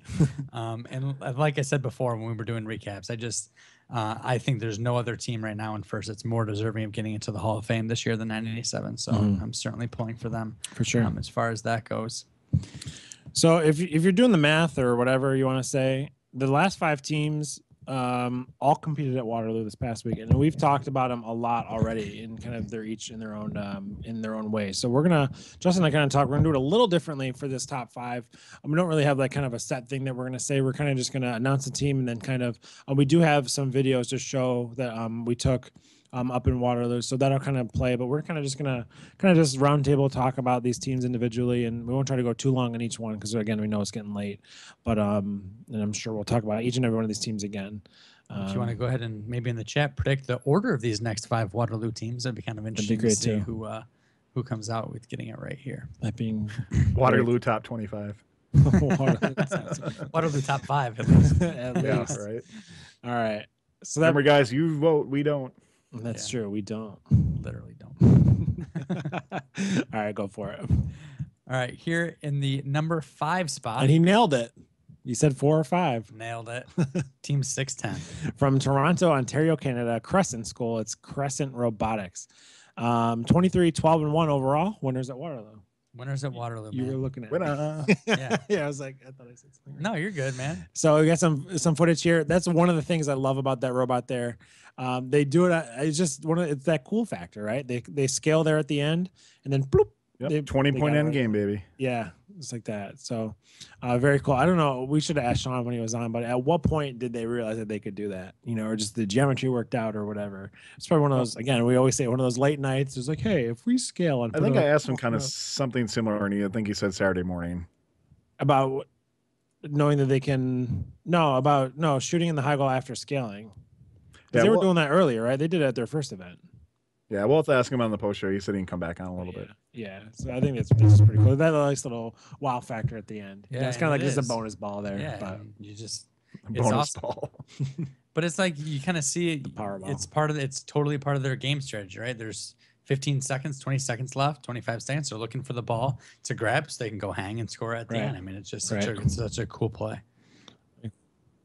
Yep, it's that yeah, right. It's that guaranteed high shot that you need at the end of that. Mhm. Uh, Yeah, because yeah, the it's a high percentage shot, and most teams kind of do that anyway, right? You'll see 11 4 you'll see everybody grab that shot, try to shoot, and then the last second hang, and then sometimes they don't get high enough or they don't do whatever because they're Yeah. trying to get it in. But here you can get plenty of time, you get up there and then shoot as well. So congrats to 610. What an incredible run for them. Um, the kids at the Crescent School there, um, they're, they're part of history. You Yeah. know, just just doubt about it. being what they did. So congrats to them.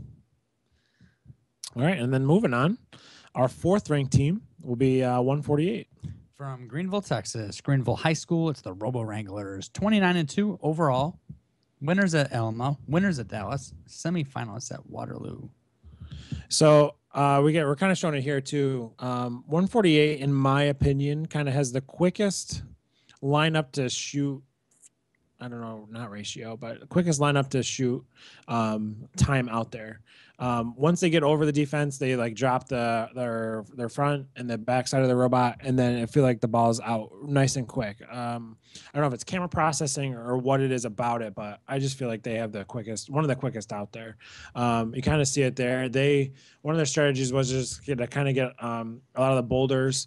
Um, either they start collecting in the in the um, secret passage, and then just they just shoot bang bang bang. They had you know they shoot five in in a matter of seconds. That's crazy. And I do have to correct myself. I did say the record was, I don't remember what I said, but the record's 41 and 8 overall. I Mm. think I just forgot to update that from Yeah. last week. You know, I, th- I think one of the things with 148 uh, was either they were on fire, just getting that consistently over and over again, or they had some issues um, where they're and not issues with the robot necessarily, just accuracy issues.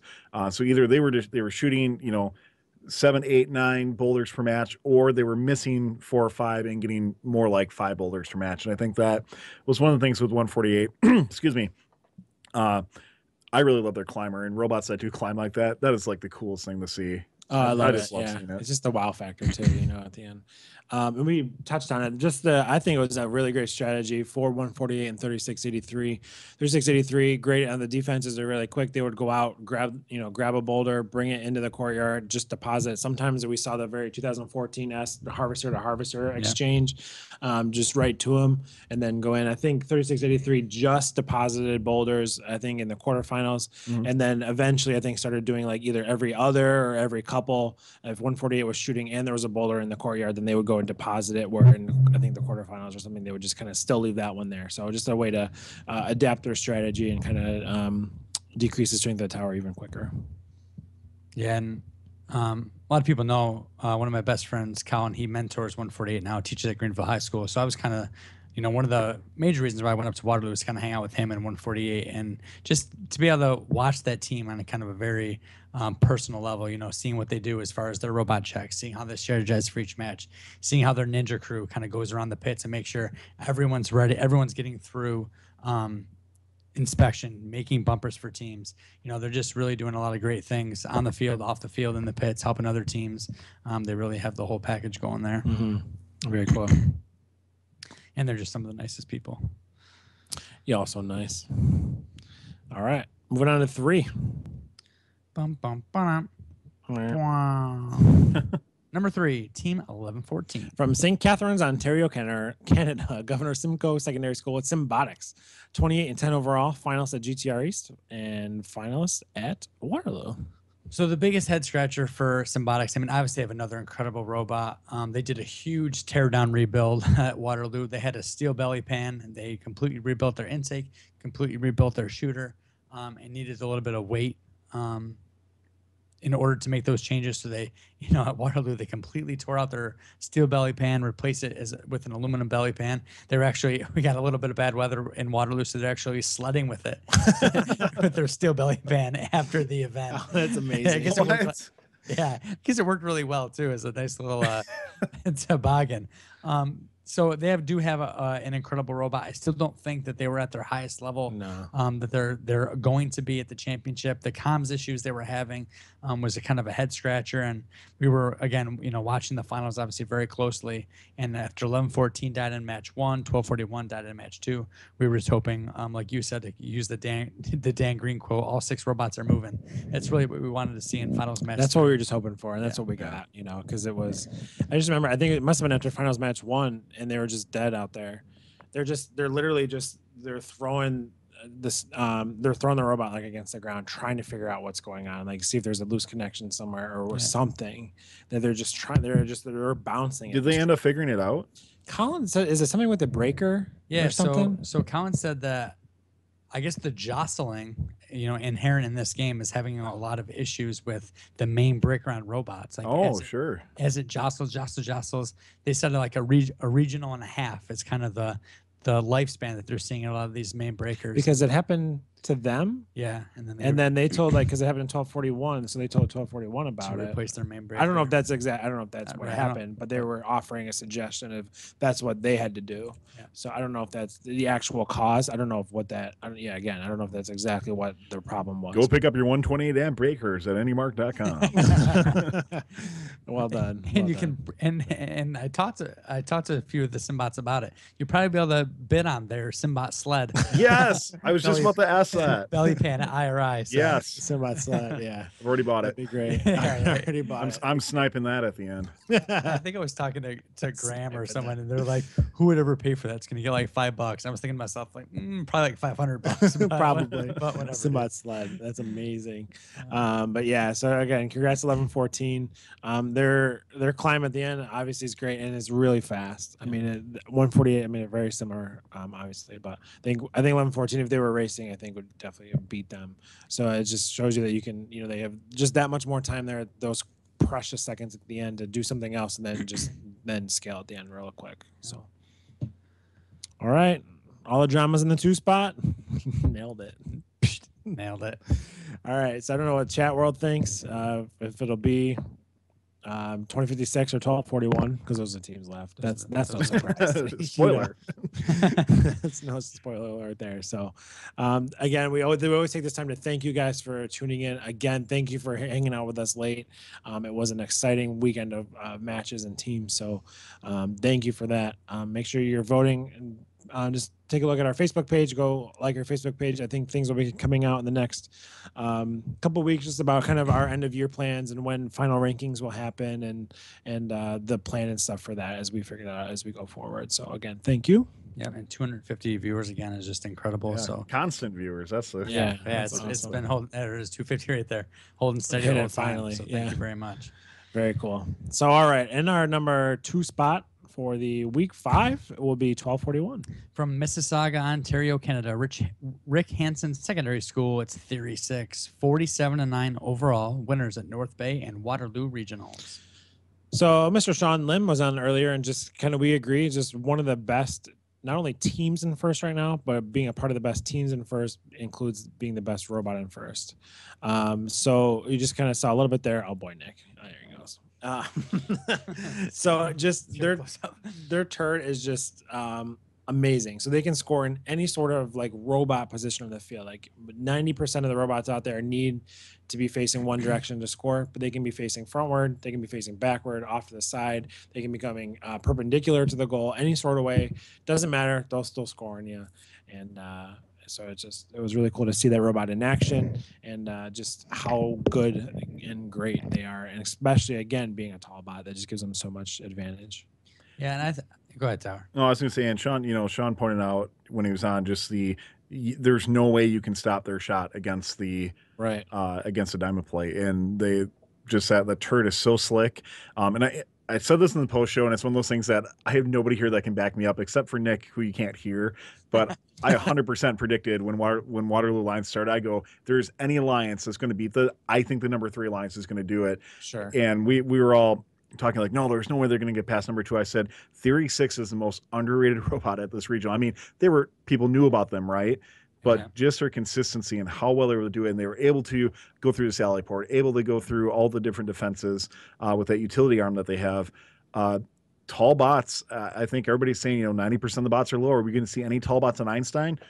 In the, what the top eleven, we had three or four this week. Tall bots are going to be on Einstein, and these are the robots you're going to see Yeah, right. on there.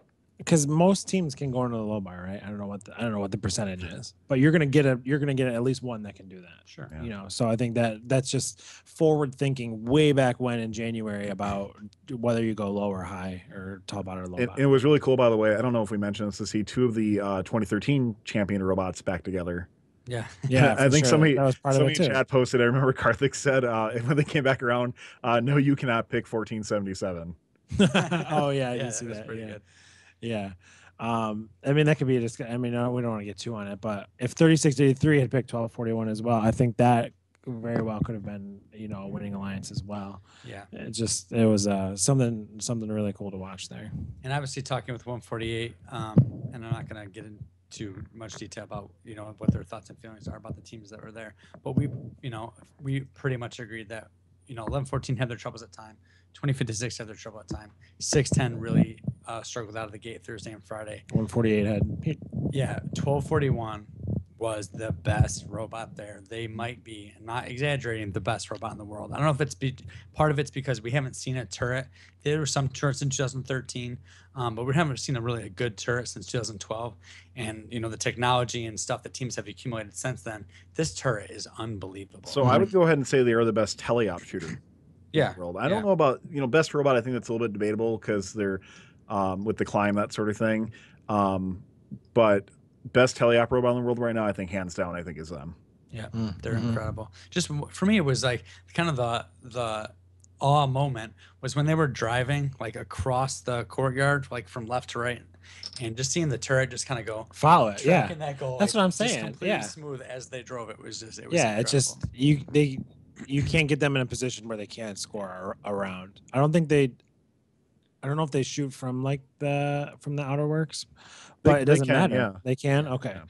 Um, but it doesn't matter. Like you know, they they like anywhere around anywhere around the batter they can score from. So they had a nice kind of path, robot path at one point. They didn't use it much in eliminations, but they would come over the defense, right? S- They would come over the defense, turn right, kind of go in front of the tower, like drive by it, turn 90 degrees, pick the tower off middle high, mm-hmm. and then just kind of go out the other way and just kind of run left. let the turret turn you Yeah, in. Just kind of pick it off. perpendicular or parallel with the driver station. Yeah, let the turret. Exactly. There you go. And it was Yeah. kind of a, an, again a really cool Very thing to cool. see. So Yeah, absolutely. So All right. that's it. And last but not least, certainly not least, team number 2056. from Stoney Creek, Ontario, Canada, Orchard Park Secondary School. It's OP Robotics, 31 and 7. Overall, winners of GTR East, finalists at Waterloo. So I'm going to start just by saying that, and it, they have a big kind of display in their pit. that talks about their design principles, and it's like it's simplicity, simplicity, simplicity. And the robot is so like you look at it, you're like, Yeah. why didn't we do this? It's so Yeah. simple, Yeah. but it's just dead devastatingly effective. Right. The scale is quick. Um, they just look confident, and I, you know, like we talk about each year, you know, 2056 might have been the best team to never win a world championship. This could be the year. Could be. That's and we had Tyler on a few weeks ago, and he he talks about the simplicity and simplicity. I think immediately our brains just go, a robot that good can't be simple. Yeah. A robot that wins 23 regionals in a row can't be simple, but it is. Yeah. Like just like take a look at the robot. Go inside and look. Like yes, the robot is simple, but and then it's machined well, which I think gives it the appearance of looking really good, which then gives it the uh, the thought of like it must be so complex, you know. Yeah, So and it's just you yeah. know, I, and I love the, I love the not, not powder coating. Right, they just kind of Yeah. sand and brush all the aluminum and just look. Yeah. They, they have a beautiful style. Like we talked about before, you can pick a 2056 robot out of a lineup of 100 teams, yeah. um, and it's just an incredible, Yeah. uh, an incredible robot. and just and I think it speaks to um, just the integrity of the team and just their their mindset and stuff. Just after that loss, which is huge. Like this is like you know we witnessed history. We were there for history. It just the their demeanor. They I mean they weren't they weren't upset. They weren't like you know it's just like I said earlier. Just kind of respect both ways from both alliances. Um, it was just. Uh, you know, we, and Tyler has said it. We have said it. it. This day has been coming, and it is here but 23 regionals in a row just Yep. And doesn't take anything away from them. And at the event, you know, I just kind of shook Tower's hand, shook Stan's hand, just congratulated him on an incredible run. Um, but I think, I was talking about this with Colin. I feel like maybe just a little bit somewhere in the back of their mind, their head, their I feel like there must have been just a little bit of a relief that this, they don't have to carry the burden. It's been put on such a pedestal for so long. And, I Absolutely. mean, not that we help that by any means. Oh, but, sure. No, we're um, guilty.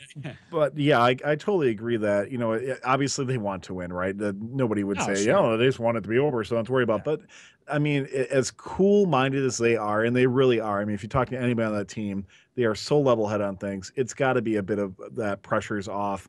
Let's just go and just kick butt in events moving forward, and that's it, right? I mean, we we as a community make it a, make it a big deal Oh yeah. that it's you know holy cow something it's 23 Yeah. and sure they got all the blue banners lined up but you know what? If i if i was on 2056 like that i'd be like you know what? It's time to pick ourselves up. Let's move on. I mean they still got chairman's and a silver so it's Yeah. not Yeah, like and- not like they didn't get anything out of the event but it's it's one of those things where you just got to move on move on and what is their goal? Prep for champs and get back on the einstein Yeah, and and one of their mentors said to me right after, uh, well, "It's fine. We'll just start a new streak next week." And you know, that's that's, their it. mindset. They're just Yeah. moving on, and Moving on. um, I, and I don't know. I was I was gonna do some research because they, you know, there was that kind of the thread that the 2056 streak is broken, and people were obviously congratulating them and stuff. But i was wondering, what is the next current streak? I don't know if anybody's done that, figured it out, but I don't know what the Somebody said- longest. Yeah, Yeah, I knew that. I, that's the one I looked at myself. That's who I figured. have are 12 close. regionals in a row. Have 12. So, so And then I- I- was saying uh, 254 is at nine or something like that. Even if know. anybody catches 23, which I- mean, Robonauts certainly it's plausible. Um, what it will never be touched is 23 from your inception, right? Sure. From rookies, Yeah. 23 in a row will never happen again. Right. And it's just an incredible Right. thing that they'll have forever. So Yeah. They'll always they'll always have that. Hmm All right. So we went through 25 uh, every single week, guys. Come and check us out once again. Thank you to Mike and Justin and Nick, our producer, for doing a fantastic job, as well as uh, Shawn for coming on. And if you're watching live, we will have a little bit of a post show as well too. So stick around and check that out. And chat world, all that we ask once again, you like the show. Tell a friend if you want it. That's your way to be able to support the show. If you like what's going on, uh, go to AndyMark, check them out. Check out Youth Robotics and our other sponsors as well. But just tell a friend. That's a zero cost, easiest way to do it. To Say, hey, there's this cool show going on. Come check it out. That's all that we ask of you.